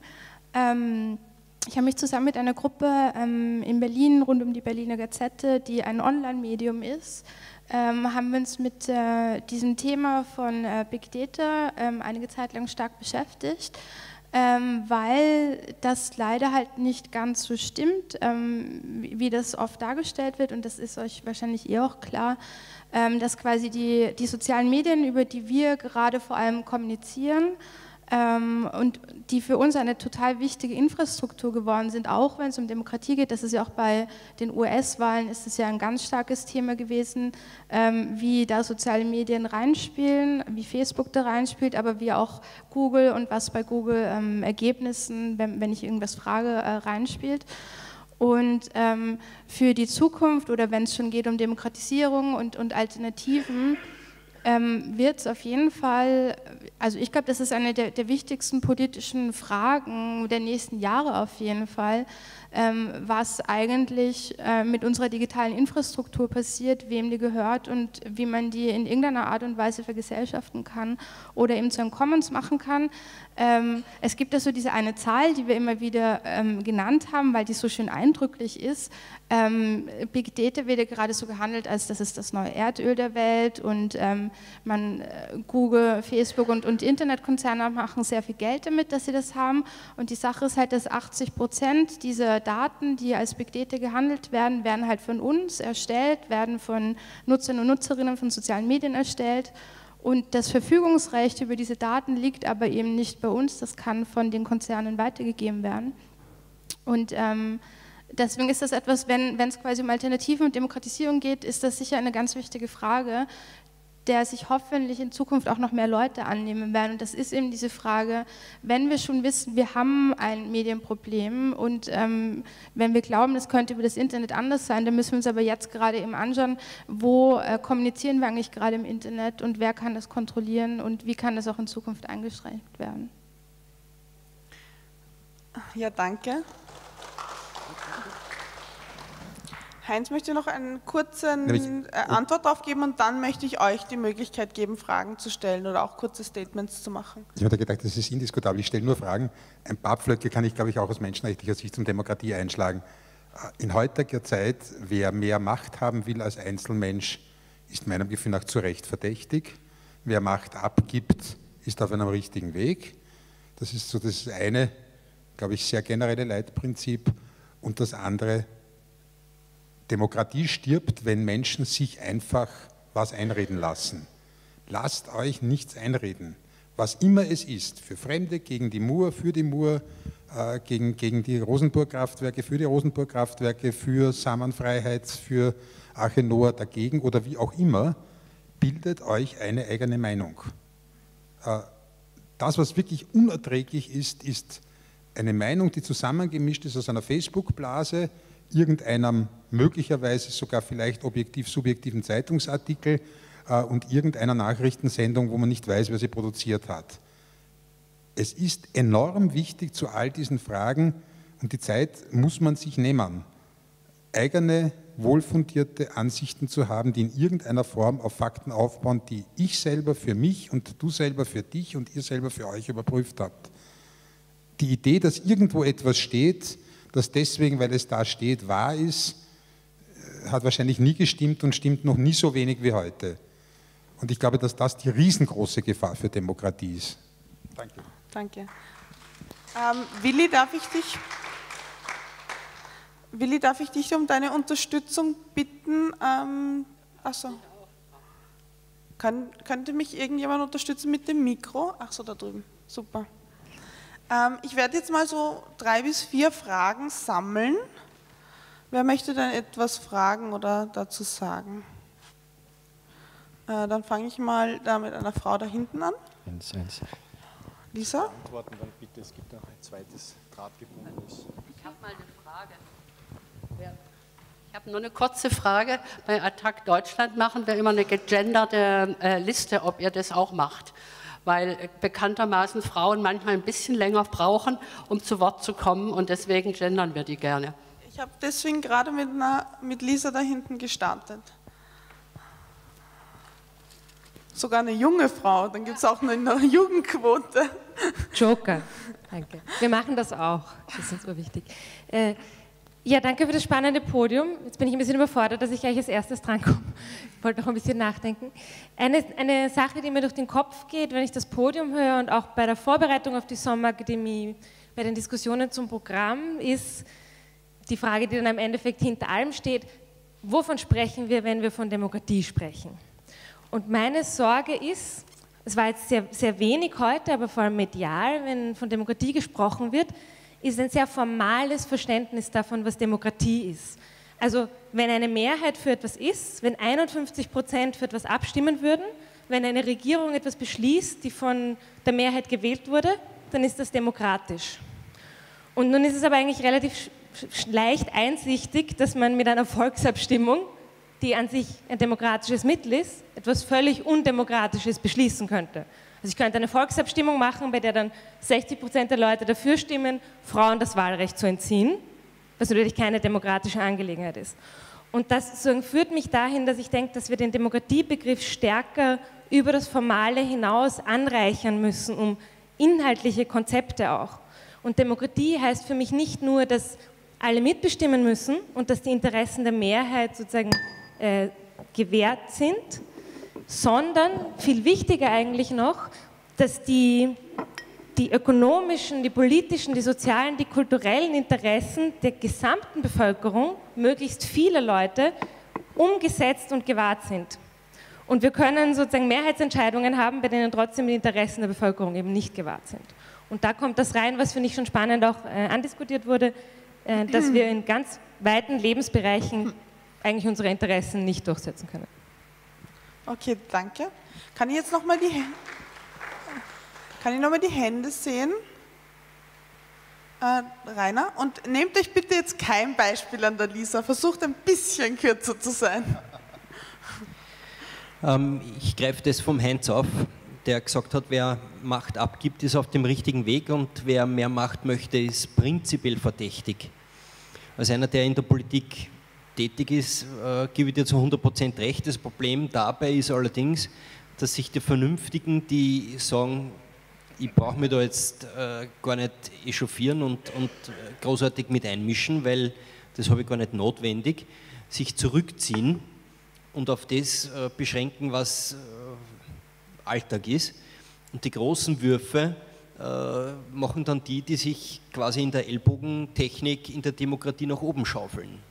Und das ist leider in unserem demokratischen System so, äh, dass diejenigen, die halt die Mehrheit dann hinter sich schauen, weil sie ganz einfach äh, Dinge anbieten können, die der andere nicht anbietet, ja, ganz einfach in Listen weiter vorne stehen und dann äh, zur Mitbestimmung eingeladen werden. Und da müssen wir ganz einfach auch aufpassen. Ja. Das, was der Heinz sagt, ist absolut richtig, aber schwierig umzusetzen. Okay, ja, danke. Dann da die Doris. Danke. Ähm, ich glaube, dass es manchmal ähm, sehr wichtig ist zu schauen, warum manche Leute mit jemandem ins Diskutieren kommen, ähm, du hast es angesprochen mit den selbstverwalteten Betrieben. Ähm, ich habe manchmal den Eindruck schon gewonnen, dass es sehr wichtig ist für viele Menschen, das Funktionieren anzuzweifeln. Und zwar aus dem Grund, weil sie dann einen Grund haben, nicht selber in die Gänge kommen zu müssen und vielleicht so etwas Ähnliches zu beginnen. Ähm, weil dann würden sie ja nicht in, äh, dann müssten sie aus ihrer Komfortzone herauskommen und das ist ganz schlecht für viele. Dann der Rudolf, danke.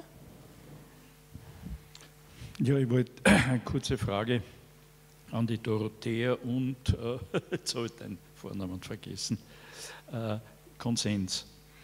Äh, theoretisch sozusagen äh, wahlwissenschaftlich ist es so, dass Konsens als Entsprechung auch das Vetorecht haben. Und das ist ein Problem, wie entgeht ihr dem? Okay, und ich habe jetzt da hinten noch eine Hand gehabt. Da mache ich jetzt mal eine Ausnahme. Es ist noch ein Mann, aber ich halte es für vertretbar.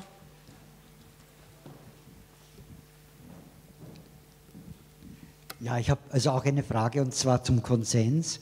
Wir haben in ATTAC auch über den Konsent gesprochen. Also diese ist schon erwähnt worden, äh, das Gewichten des Widerstandes. Und äh, diese Methode hat also einen großen Vorteil bei verschiedenen Alternativen, die man also vorstellen kann, dass man also dann nach dem Prinzip sehr rasch äh, zu einem Konsent kommt. Viel schneller als durch die Diskussion mit Konsens und in keiner Weise schlechter. Das Ergebnis. Danke. Ähm, Dorothea, kannst du mir da mal das Mikro geben? Ja, ich glaube, ihr habt beide da etwas zu dem Thema Konsens, Consent, etwas zu sagen. An dich war die Frage direkt gerichtet, vielleicht möchtest du gleich damit starten. Also ist klar, in kleinen Gruppen kann man sehr viel leichter äh, versuchen, nach dem Konsensprinzip zu arbeiten, als in großen. Und die absolute, wie gesagt, absolute Konsensbeispiel in Venezuela, das tatsächlich existiert, ja, ist, dass die tatsächlich so lange diskutieren, bis der Letzte zustimmt. Das ist natürlich, dafür braucht man ganz, ganz viel Zeit und die haben wir in der Regel nicht. Ähm, bei Attac Deutschland heißt Konsens, ähm, wenn ähm, äh, wenn 90 Prozent mit etwas leben können. Und zwar, wir machen nämlich keine Abstimmung in der Regel Ja oder Nein, sondern wir sagen, wer kann damit nicht leben? Ich kann irgendeine Kampagne bei Attac eigentlich Quatsch finden, aber wenn andere das gerne machen wollen, da ihre Energie reinstecken, sollen sie es doch machen. Kann ich mit leben? Ja? Das ist schon mal diese Frage, kann, wer kann damit nicht leben, ist schon mal eine andere. Ja? Und ähm, ich denke schon, dass der Konsens, wir haben bei Attac Deutschland da auch ganz oft diskutiert und es gibt immer mehr, die das eigentlich auch abschaffen wollen. Für mich ist es ganz wichtig, wenn ich nämlich auf Konsens diskutiere, muss ich die Gemeinsamkeiten mit den anderen finden. Wenn ich auf Mehrheit diskutiere, diskutiere ich auf 50,1 Prozent, versuche die 49 runterzumachen und beginne eine Streitdiskussion und beginne nicht eine Diskussion, wo man versucht, dass man gemeinsam etwas hinbekommt. Und deswegen ist für mich die Konsensdiskussion ein viel demokratischeres Mittel, um alle mit einzubeziehen. Und nochmal, wer erkennt es wahrscheinlich auch aus eigener Erfahrung, es sind viele Gruppen kaputt gegangen daran, dass eben nur eine knappe Mehrheit was wollte und dann immer die anderen, die, die kommen dann einfach nicht mehr. Und dadurch werden wir nur schwächer. Ähm, Moment, ich glaube, Nina möchte auch noch zu dieser Debatte etwas beitragen. Ähm, ja, das will ich sehr gern machen. Ähm, unter anderem, weil ich mir gerade ähm, ein, ein Fahrradkurierkollektiv anschaue. Ähm, hört sie mich? Ich kann noch näher daran sprechen. Ähm, das ist, also ich finde, ich schaue mir gerade ein Fahrradkurierkollektiv in Berlin an. Ähm, da ist es auch so, dass ähm, die treffen Entscheidungen im Konsens. Die haben ein Plenum alle zwei Wochen. Da werden wichtige Entscheidungen im Konsens getroffen. Und ich glaube, eine, eine Sache, die da ganz wichtig ist, ist halt zu wissen, dass die meisten Entscheidungen, die ähm, ein Fahrradkurierkollektiv zum Beispiel treffen muss, das sind keine Entscheidungen, wo irgendjemand fünf Stunden lang rumsitzen muss. Ne? Also das ist ja auch schon, das darf man ja nicht vergessen, Konsensentscheidungen sind, wenn Leute lange über eine Entscheidung diskutieren, dann liegt es dann meistens daran, dass diese Entscheidung so wichtig ist. Äh, das sind existenzielle Entscheidungen für eine Gruppe oder für einen Betrieb. Und da trifft dann das, was Dorothea gerade gesagt hat, total zu. Wenn diese Gruppe weiter bestehen will, ist es wichtig, dass sie solche existenziellen Entscheidungen tatsächlich diskutieren und nicht einfach schnell mit einer Mehrheitsentscheidung ähm, abwickeln. Und was ich bei dieser Konsensgeschichte auch noch ganz wichtig finde, und das ähm, habe ich ähm, bei einer Kollektivistin aus diesem Fahrradkurierkollektiv, das war sehr schön, ähm, wir haben ein Interview gemacht und äh, ich bespreche mit ihr ein Plenum, das es mal vor fünf Jahren gab, wo es eine ganz wichtige Grundsatzentscheidung gab. Und ich sage so zu ihr, hey, wenn, du, wenn ihr jetzt noch einmal diese Grundsatzentscheidung hättet, da ging es darum, ähm, ob das äh, Kollektiv vergrößert wird und ob sie den Lohn anpassen. Es waren wirklich existenzielle Fragen und ich frage sie so, wie würdest du dich jetzt entscheiden, wenn du wieder da wärst? Und sie sagt so zu mir, da müsste ich erst mal schauen, da müsste ich erst mal mit den anderen drüber reden, das kann ich jetzt nicht so sagen. Und das sind so ähm, Mechanismen, die Leute lernen, wenn sie länger in einer Gruppe sind, ähm, ich gehe mit einer Meinung in, ein, in so ein Plenum rein, aber ich bin so offen, dass ich weiß, dass ich meine Meinung während diesem Plenum wieder ändern kann, einfach nur, weil ich den anderen Leuten zugehört habe und dabei vielleicht nochmal andere Perspektiven höre. Und das ist für Menschen, die in gut funktionierenden Kollektiven arbeiten oder aktiv sind, ist das eine Bereicherung. Da geht es nicht darum, dass ich meine eigene Position aufgebe, sondern da geht es darum, dass ich überhaupt die Möglichkeit habe, von allen anderen das auch noch zu erfahren. Und das ist aber eine, eine, eine Sache, die halt einfach nicht in jeder Organisation funktionieren kann. Das kann es bei einer Amnesty, also bei riesigen Organisationen wird es zu diesen Prozessen auf der Ebene wahrscheinlich nicht kommen. Aber dann kommt ja die nächste Frage. Lisa hat ja vorhin gefragt, äh, was, was wir uns unter Demokratie und Demokratisierung uns vorstellen. Und eine, eine wichtige Sache, ähm, die ich in selbstverwalteten Strukturen halt eigentlich immer habe, ist diese dieses Prinzip, dass alles, was äh, dezentral entschieden werden kann, also was in einer kleinen Gruppe entschieden werden kann, wird halt auch in der kleinen Gruppe entschieden. Das muss nicht im Plenum ausverhandelt werden. Und so kann man so kleine Schritte finden, um dann auch auf einer größeren Ebene zu Entscheidungen zu kommen, die alle tragen können. Hein? Danke. Ich finde es super spannend. Also wir haben das auch mal ausprobiert. Auf dieser internationalen Ratstagung unsere südamerikanischen Kollegen und Kolleginnen sind hingegangen gesagt, wir wollen nicht mehr diese Panel Discussion, Voting und Tschüss, sondern wir wollen ein Palaver. Das klingt für österreichische Ohren nach einer Blabla-Geschichte, hat aber ganz klare Regeln und ist großartig. Wir haben es für eine wichtige Frage dann rausgenommen. Die einzige Bedingung war, ihr dürft erst aufstehen, wenn ihr eine Lösung habt. Äh, hat gedauert fünf, sechs Stunden, war die Frage allemal wert und am Schluss haben, glaube ich, schon ein paar auch mit wundgesessenen Popo äh, äh, dann halt Ja gesagt, ohne super dafür zu sein, aber es war sicher eine hochqualitative Entscheidung. Äh, ich glaube, dort, wo es seine Grenzen hat, ist, wo also mit einem legitimen oder illegitimen Krise passt genau zu dem, was ich sagen wollte. Wenn akut was passiert, äh, können wir jetzt nicht anfangen zu sagen, wie geht es euch denn damit, dass da jetzt das Wasser reinrinnt? Wer möchte gerne weiterreden? Äh, sollten wir vielleicht, nein, die Feuerwehr rufen nicht, weil die stört die Feuerwehr. Also Ad-Hoc-Entscheidungen sind wichtig, dass die auch wer treffen darf, wenn Krise ist, wenn es eng ist. Bei uns bei Amnesty in der ganzen Medienarbeit. Medien geben dir nicht drei Tage Zeit, bis man antwortet auf eine schwierige Fragestellung. Und Medienarbeit ist für jede NGO wichtig.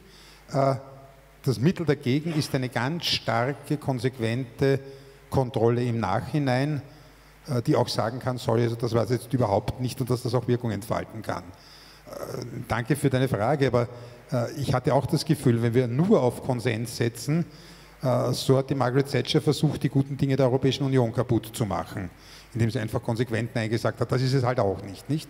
Was aber nicht heißt, ist, dass diese Suchung, Suchen nach, wer kann nicht damit leben, das finde ich eine ganz großartige Formel. Ja, danke. Ähm, ich glaube, es gibt jetzt da schon einige Leute, die sich ganz ähm, engagiert um dieses Wasserproblem kümmern, das wir gerade von der Decke haben, was uns das dazu uns ermöglicht, dass wir da weiter diskutieren können. Ähm, Clemens, ich würde dich noch mal bitten, möchtest du noch mal auf diese beiden Statements, die wir am Anfang hatten, also einerseits, ähm, dass es bei diesem Demokratiebegriff wir vielleicht über dieses, diese formale die Demokratie hinausgehen sollten oder vielleicht sogar müssen und das auch mit Inhalten anreichern, was das dann heißen kann, vielleicht auch in Bezug auf eure ähm, Bewegung rund, also gegen, gegen den, äh, das Murkraftwerk und aber auch dies, dies, vielleicht möchtest du auch noch einmal Bezug nehmen auf diese Machtfrage, die hier di diskutiert wurde. Ähm, ja, gern, danke. Die, ich gehe vielleicht als erstes auf diesen Konsens ein. Ähm, mir ist durchaus bewusst, dass ein Konsens oder das Herbeiführen eines Konsens sehr viel Energie kostet. Es kostet Energie, vertrauenswürdige Informationen zu sammeln, sie zu denken, sie zu diskutieren und zu einer Entscheidung zu kommen. Und das ist ein Prozess, den wir uns in der Demokratie aber schuldig sind. Ähm, es ist natürlich sehr viel einfacher zur Wahlurne zu gehen, seine Stimme abzugeben und dann zu sagen, die dort oben, die werden das schon richtig entscheiden. Wir in Graz haben es aus, aus meiner Perspektive oder aus unserer Perspektive einfach anders erlebt. Die politischen Entscheidungen sind über den Clubzwang zustande gekommen. Aus unserer Sicht haben sie die, die ähm, Verhältnisse in der Bevölkerung nicht wiedergespiegelt. Und da haben wir die Volksbefragung in diesem Punkt als bessere Lösung angesehen, um zu einem Konsens zu kommen, der zumindest über das steirische Volksrechtegesetz oder über die österreichische Verfassung ähm, äh, legitimiert wäre. Natürlich hat die direkte Demokratie und das Herbeiführen eines Konsens auch Risiken und wir müssen uns dieser auch bewusst sein. Und gerade deswegen möchte ich auch noch einmal an den Heinz Batzelt anschließen. Wichtig ist halt, woher kommt die Information und wie wird sie uns aufbereitet und wer finanziert sie auch. letztendlich? Ähm, wer bereitet sie auf? Und das alles kostet Energie und wir können die Energie investieren und uns engagieren und versuchen, an diesen politischen Prozessen teilzuhaben. Oder wir können einfach nur passiv äh, die Demokratie über uns gestalten lassen. Und da glaube ich einfach, es ist besser, wir engagieren uns und wir investieren die Energie, ähm, auf dass wir die Diskussion führen. Oh je, ich glaube, jetzt haben wir. Kommen. ähm, habt ihr das unter Kontrolle oder sollen wir uns gestört fühlen? Also, okay. Also, gut. Ähm, um es nochmal darauf anzuschließen, ich glaube, die Energie ist es wert, investiert zu werden. Wir werden die Ultima Ratio, welches ist das beste demokratische Mittel oder das beste demokratische System, heute Abend wahrscheinlich leider nicht lösen können.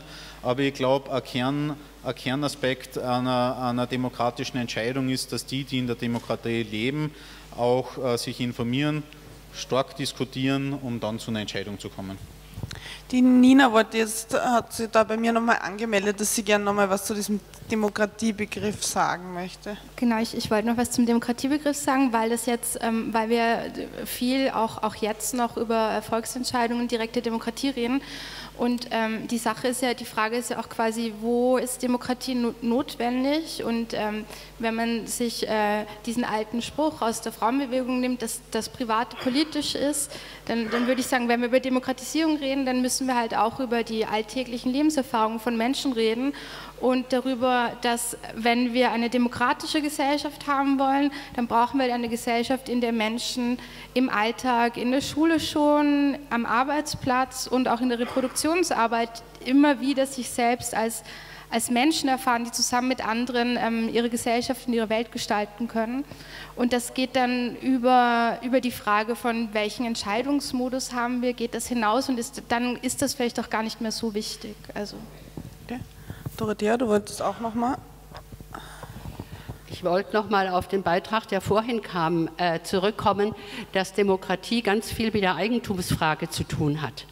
Und deswegen ähm, ich der Meinung bin, eine Basis einer demokratischen Gesellschaft bedeutet, dass die Gemeingüter öffentlich sind. Das ist für mich ein ganz wichtiger Punkt, denn nur dann ist überhaupt äh, theoretisch, möchte ich mal sagen, gewährleistet, dass alle das gleiche Recht auf Wasser, auf äh, Infrastruktur und so weiter haben.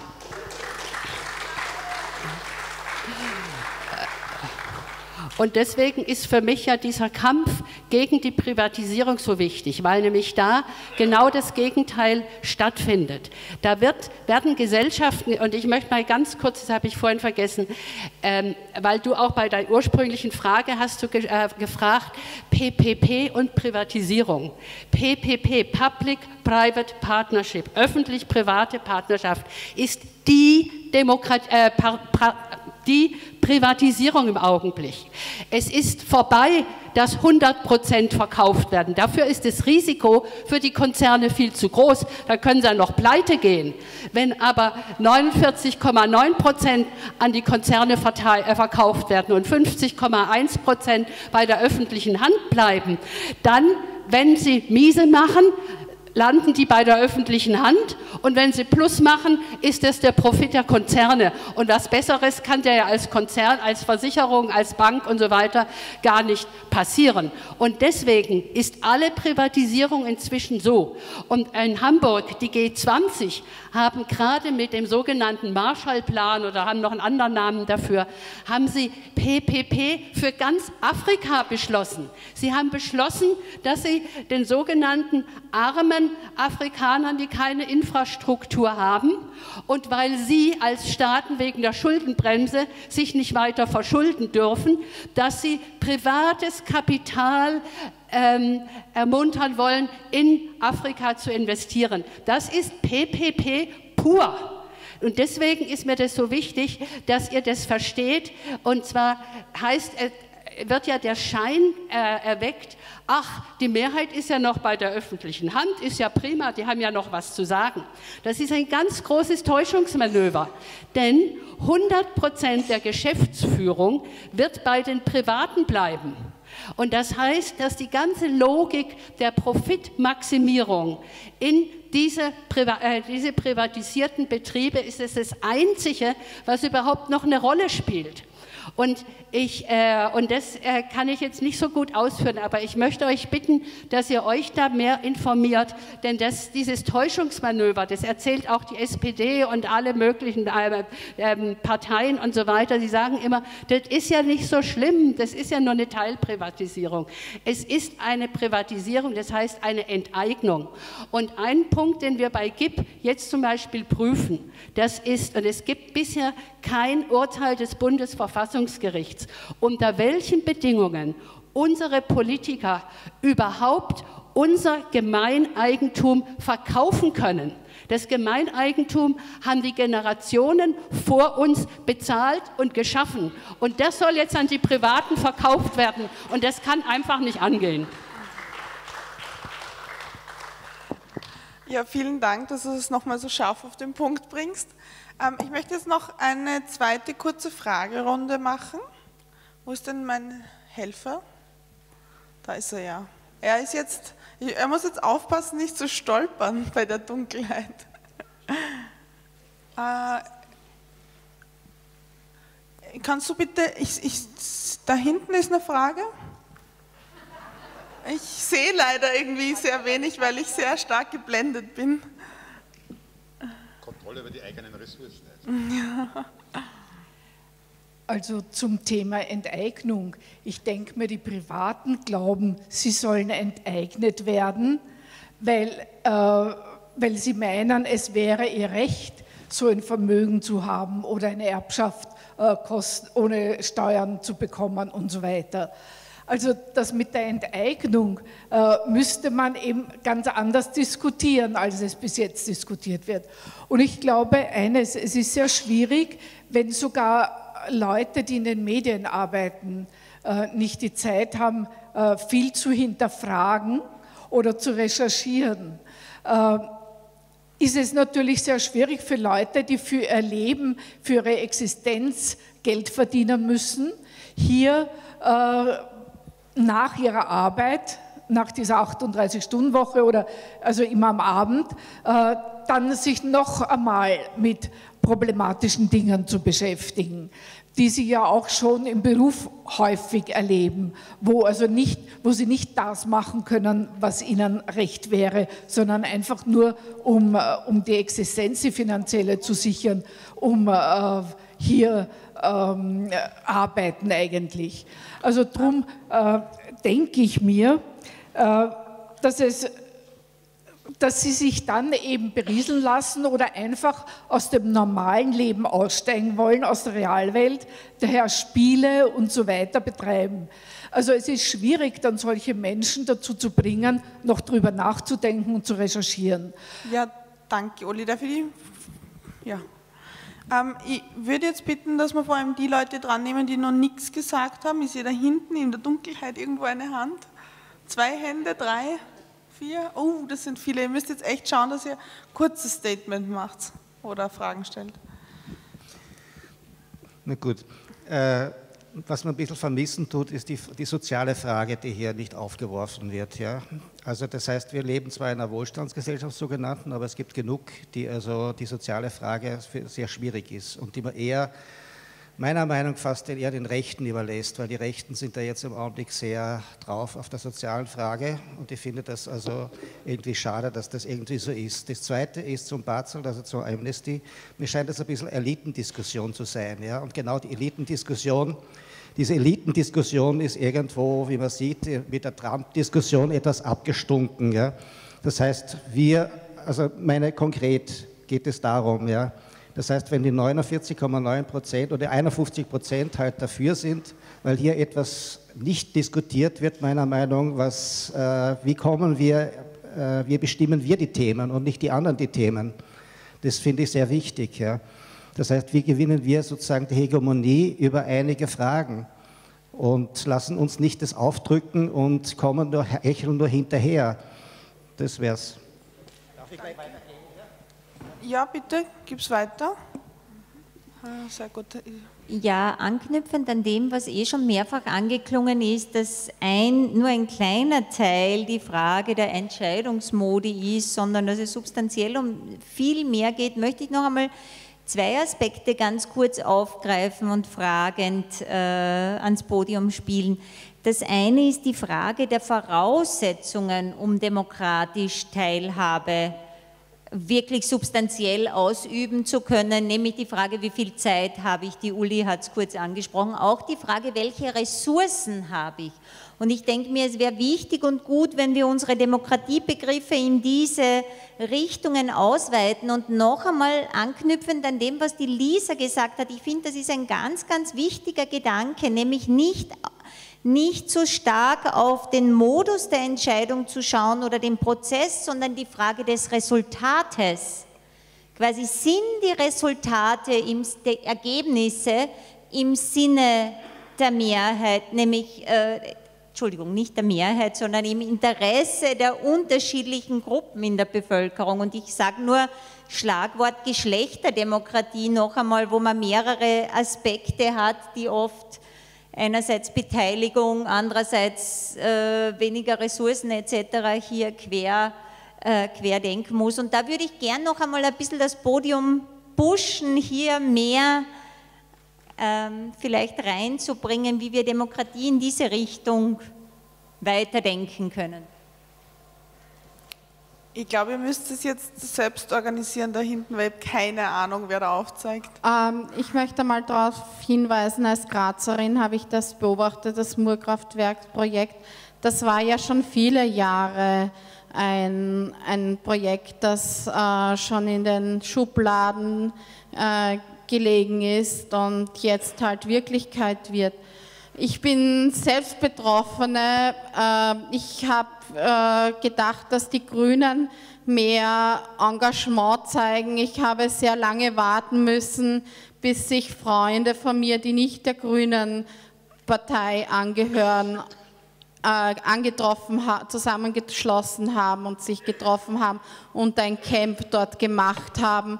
Das ist auch Bürgerbeteiligung und ich fordere auch die Grünen hier auf, solange sie hier sind und äh, auch bei ATTAC sind, dass sie sich mehr wieder diesen Themen der grünen Themen widmen. Das heißt Klimawandel, Wasser und nicht anderen Themen sondern das ist ein sehr wichtiges Thema. Das ist auch in Europa ein sehr wichtiges Thema geworden, nachdem, äh, wenn Sie den Europarameter verfolgen, da es, kommt es dieses Thema sehr klar zur Deutung.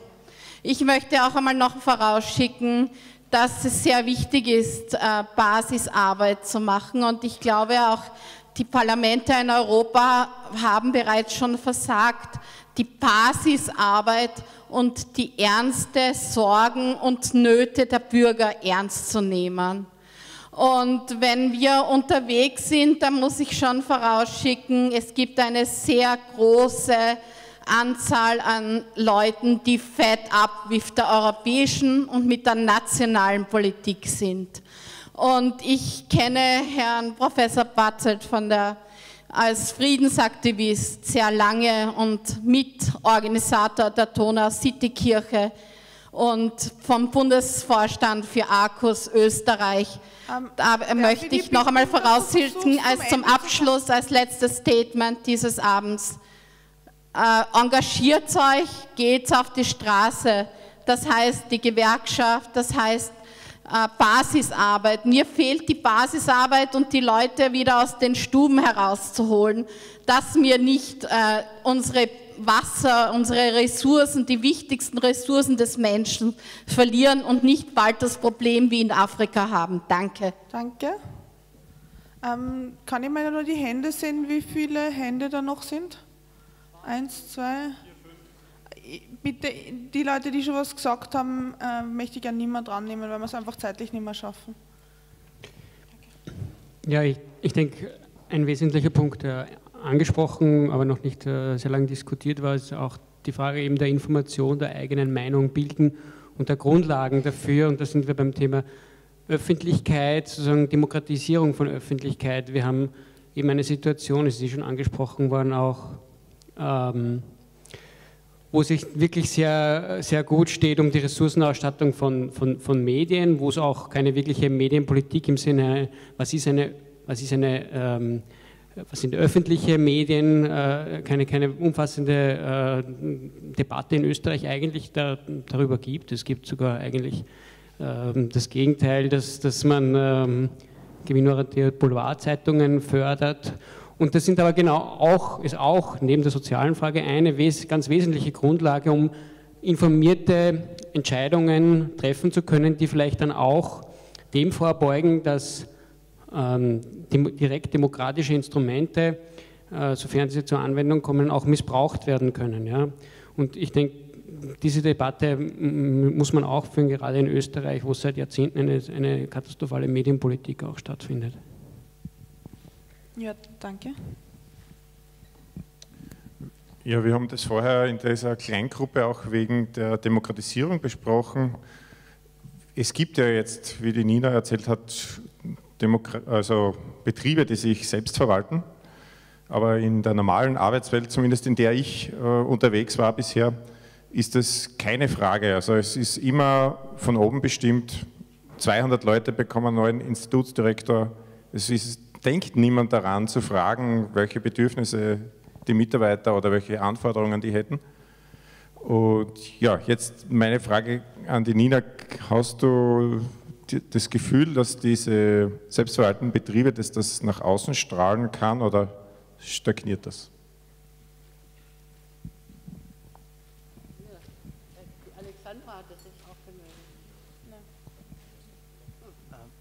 Ja, äh, ich hätte noch so eine allgemeine Frage. Also ich komme eigentlich aus dem technischen Bereich und ich kriege das sehr oft mit, dass eben Leute glauben, dass ich sehr gut informiert bin im technischen Bereich. Ich selbst aber das eher kritisch sehe. Und das war eben gerade der Punkt, den er demokratisch aussprechen will. Wie weit sind wir da reingelesen? Wie unabhängig ist unsere Meinung? Und vor allem, woher können wir uns sicher sein, dass die anderen auch diese unabhängige Meinung haben? Weil das, was ich halt aus meinem Umfeld mitbekomme, ist, sehr viel interessieren sich gar nicht dafür und wollen sich gar nicht wirklich die Zeit nehmen, sie da unabhängige Meinung zu bilden. Und der zweite Punkt, den ich wirklich gern beantwortet haben muss, obwohl ich eigentlich weiß, da gibt es nicht drauf, wie geht man um mit Leuten, die ganz klar demokratische Grundrechte hernehmen, um die Demokratie zu zerstören. Man, wir sehen das gerade mit Identitären. Was macht man mit Leuten, die das ausnutzen, um es zu zerstören einfach? Super spannende Fragen. Haben wir jetzt noch eine Hand? Weil ich möchte jetzt echt gern das schließen. Das dürfte es gewesen sein. Okay. Ähm, ich würde euch vom Podium jetzt bitten, sozusagen in einer Abschlussrunde, es waren einige Statements, die jetzt gekommen sind, einige Fragen, dass wir auf jeden Fall schauen, dass wir die Fragen beantworten. Ihr könnt euch gerne auch auf die Statements beziehen. Ich denke mir trotzdem, es ist der Anfang von einem jetzt vier Tage Sommerakademie. Viele dieser Fragen haben wir auch noch andere Orte, wo wir es diskutieren können. Vielleicht wollt ihr auch noch ein paar Worte zu den Seminaren zum Beispiel sagen, wo ihr involviert seid und wo man das dann auch weiter diskutieren kann. Nina, möchtest du anfangen? Okay, dann fange ich an. Ähm, ähm, auf deine Frage, ähm, also das ist klar, ähm, in, der, in, der, in normalen Betrieben hast du oft ganz andere Strukturen und da interessiert sich vielleicht niemand dafür, was du denkst. Allerdings, wenn du fragst, ob, ob selbstverwaltete Betriebe ausstrahlen und ob sich das auswirkt, äh, dann ist das so ein Jein. Also ähm, man weiß, dass ähm, die, also ganz viele von den ähm, Organisationstechniken, also diese teilautonomen Gruppen, diese partizipativen Entscheidungsfindungen, die ähm, in den Alternativbetrieben in den 70ern und 80ern entwickelt worden sind, sind dann einfach direkt vom neoliberalen Management aufgegriffen worden. Das ist inzwischen schon in zwei äh, ganz guten Büchern dokumentiert worden. Und, und da sieht man dann aber auch immer, weil jetzt vorhin auch schon die Frage nach Eigentum und soziale Frage gestellt worden ist, dass ähm, quasi die Art der Entscheidungsfindung natürlich nicht äh, alleine schon ausreicht, damit irgendwas demokratisch ist, sondern im, äh, in, in dem Fall, wenn es jetzt um die Frage von partizipativem Management geht oder so, oder im Kollektivbetrieb ist halt einfach das entscheidende Kriterium ist die Eigentumsfrage. Es macht einfach einen großen Unterschied, ob ich äh, einen Betrieb habe, der den Arbeiterinnen selbst gehört und die sich dann versuchen, zusammen partizipativ zu verständigen, oder ob das eben ein Unternehmen ist, das nicht den Arbeiterinnen gehört und solche Strukturen einführen möchte. Und ich glaube, solange die Eigentumsfrage ähm, nicht geklärt ist, wird sich das auch nicht durchsetzen können, so grundsätzlich. Und äh, dann wollte ich noch ganz kurz noch, ähm, weil eben auch diese Frage gekommen ist, was sind überhaupt so die Möglichkeiten von Menschen, sich irgendwie zu beteiligen im politischen Prozess. Das fand ich sehr schön. Das kam irgendwo aus der Richtung, aber ich sehe niemanden.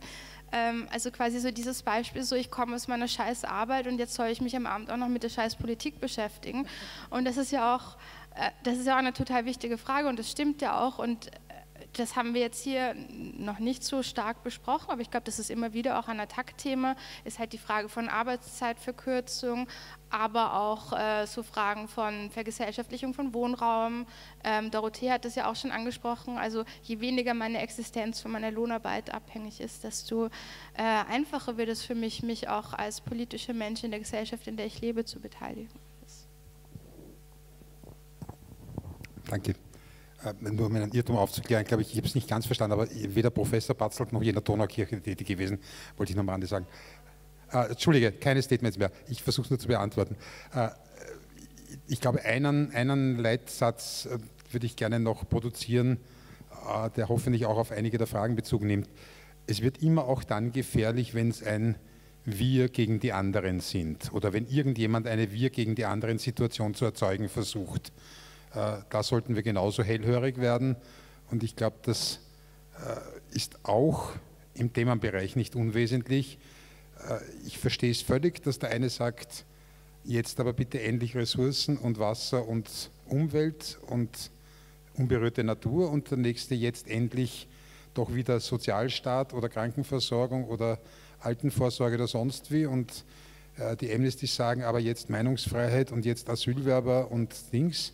Das funktioniert nicht. Es geht entweder alles zusammen oder es funktioniert überhaupt nicht. Das Schlimmste, was uns passieren könnte, wenn wir, die wir, glaube ich, auf der richtigen Seite des Systems stehen, anfangen, äh, und einen Themenwettkampf zu liefern. Da würde ich total davor warnen.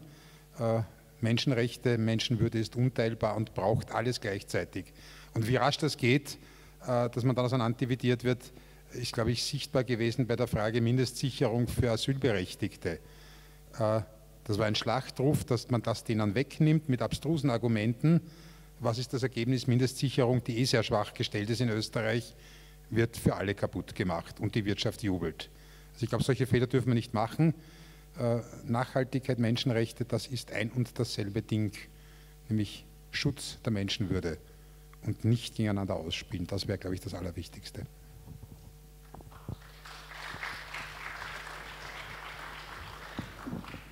Ähm, ich würde euch beide jetzt nochmal bitten, ob ihr auf diese beiden Fragen, die jetzt noch offen sind. Das eine war die, ähm, wie wir es ähm, schaffen, dass ähm, wir einerseits wieder in die Hegemonie kommen, also dass unsere Diskurse ähm, aufgegriffen werden und wir nicht äh, reagieren müssen.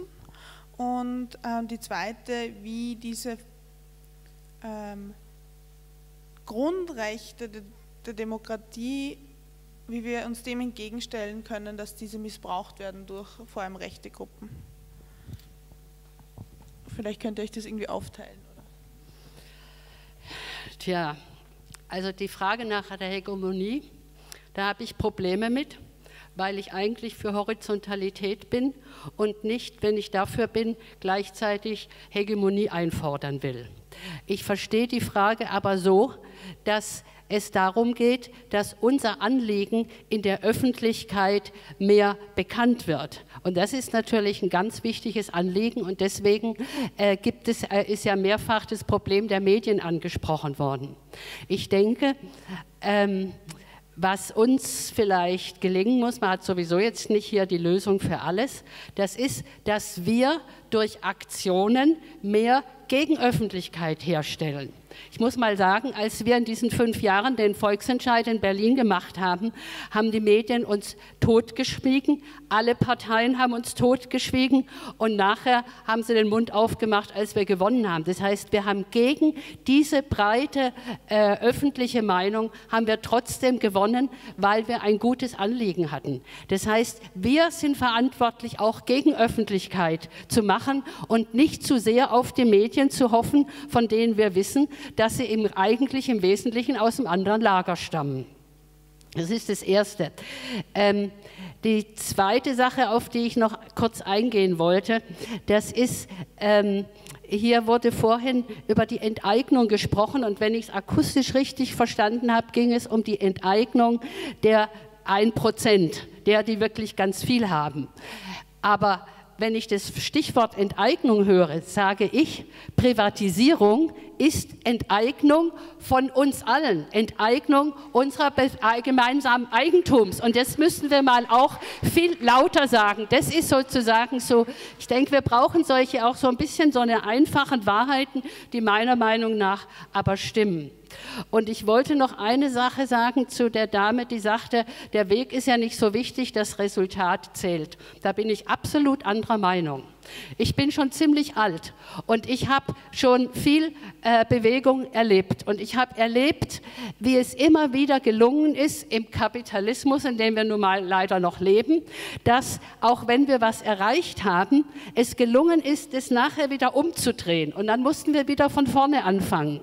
Und ich glaube, Demokratie heißt gerade, dass wir uns Gedanken machen, wie wir tagtäglich uns einbringen können und nicht sagen, jetzt ist egal, ob das demokratisch ist oder nicht, Hauptsache ich habe nachher das und das. Das ist äh, meiner Meinung nach kontraproduktiv. Und ähm, die, ich glaube, die da, gleiche Dame hatte davon gesprochen, wir brauchen, die, äh, eine andere Voraussetzung ist Bildung übrigens auch Gesundheit und andere Sachen. Und genau das wird im Augenblick privatisiert, mindestens in der Bundesrepublik. Ich weiß nicht, wie das hier in Österreich ist, aber genau das, die Grundvoraussetzung unseres menschlichen Lebens, die werden verkauft und privatisiert und damit ist unsere Demokratie zu Ende. Und erlaubt mir, ich habe mir zu Hause mal einen schönen Spruch gemacht, ich bin da ein bisschen stolz drauf, den möchte ich jetzt gerade noch sagen. Und zwar, ihr kennt alle diese indianische Weisheit. Erst wenn der letzte Baum gefällt, der letzte Fluss vergiftet, der letzte Fisch gefangen ist, werdet ihr feststellen, dass man Geld nicht essen kann. Und ich möchte gern unseren Politikern sagen, Erst wenn ihr alle öffentlichen Güter verkauft habt, werdet ihr feststellen, dass ihr euch den eigenen Ast abgesägt und die Demokratie zu Grabe getragen habt.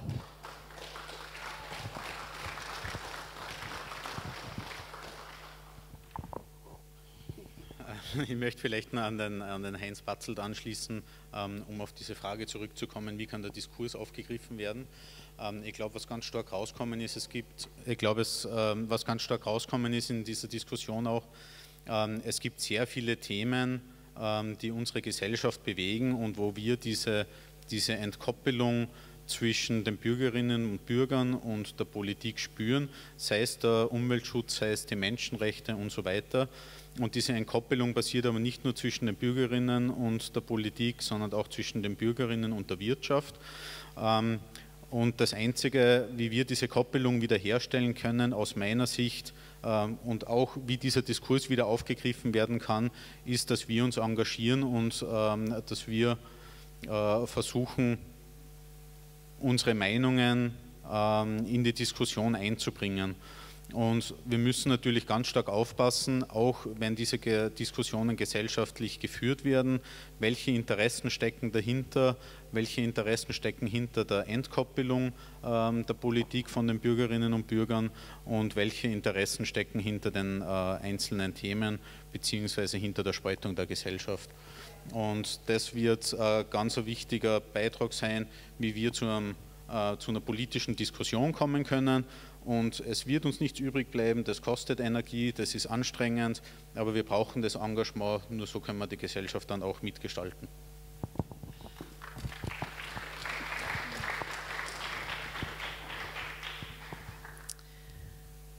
Wir haben jetzt mal angefangen, über dieses große Thema zu diskutieren. Ich glaube, es gibt noch es sind jetzt wahrscheinlich mehr Fragezeichen offen als äh, zu Beginn der Debatte, aber ich glaube, das kann ganz hilfreich sein. Mir persönlich kommen auch, äh, also mir brennen jetzt noch ganz viele Fragen auf der Zunge. Ähm, es gibt aber auch die Möglichkeit, die weiter zu diskutieren bei einem Bier oder bei einem Saft nach der Veranstaltung. Ähm, ich möchte mich ganz, ganz herzlich bei euch vier bedanken, dass ihr teilweise auch sehr weit angereist seid, um mit uns hier äh, zu diskutieren, dass ihr auch bei den zum Teil die nächsten Tage noch da sein werdet, um äh, Teil von den Seminaren und den Workshops zu sein. Und ähm, würde euch bitten, dass wir euch einmal einen großen Applaus und auch euch vom Publikum einen großen Applaus, weil ich glaube, das waren unglaublich wichtige und tolle Beiträge, die auch ihr geleistet habt.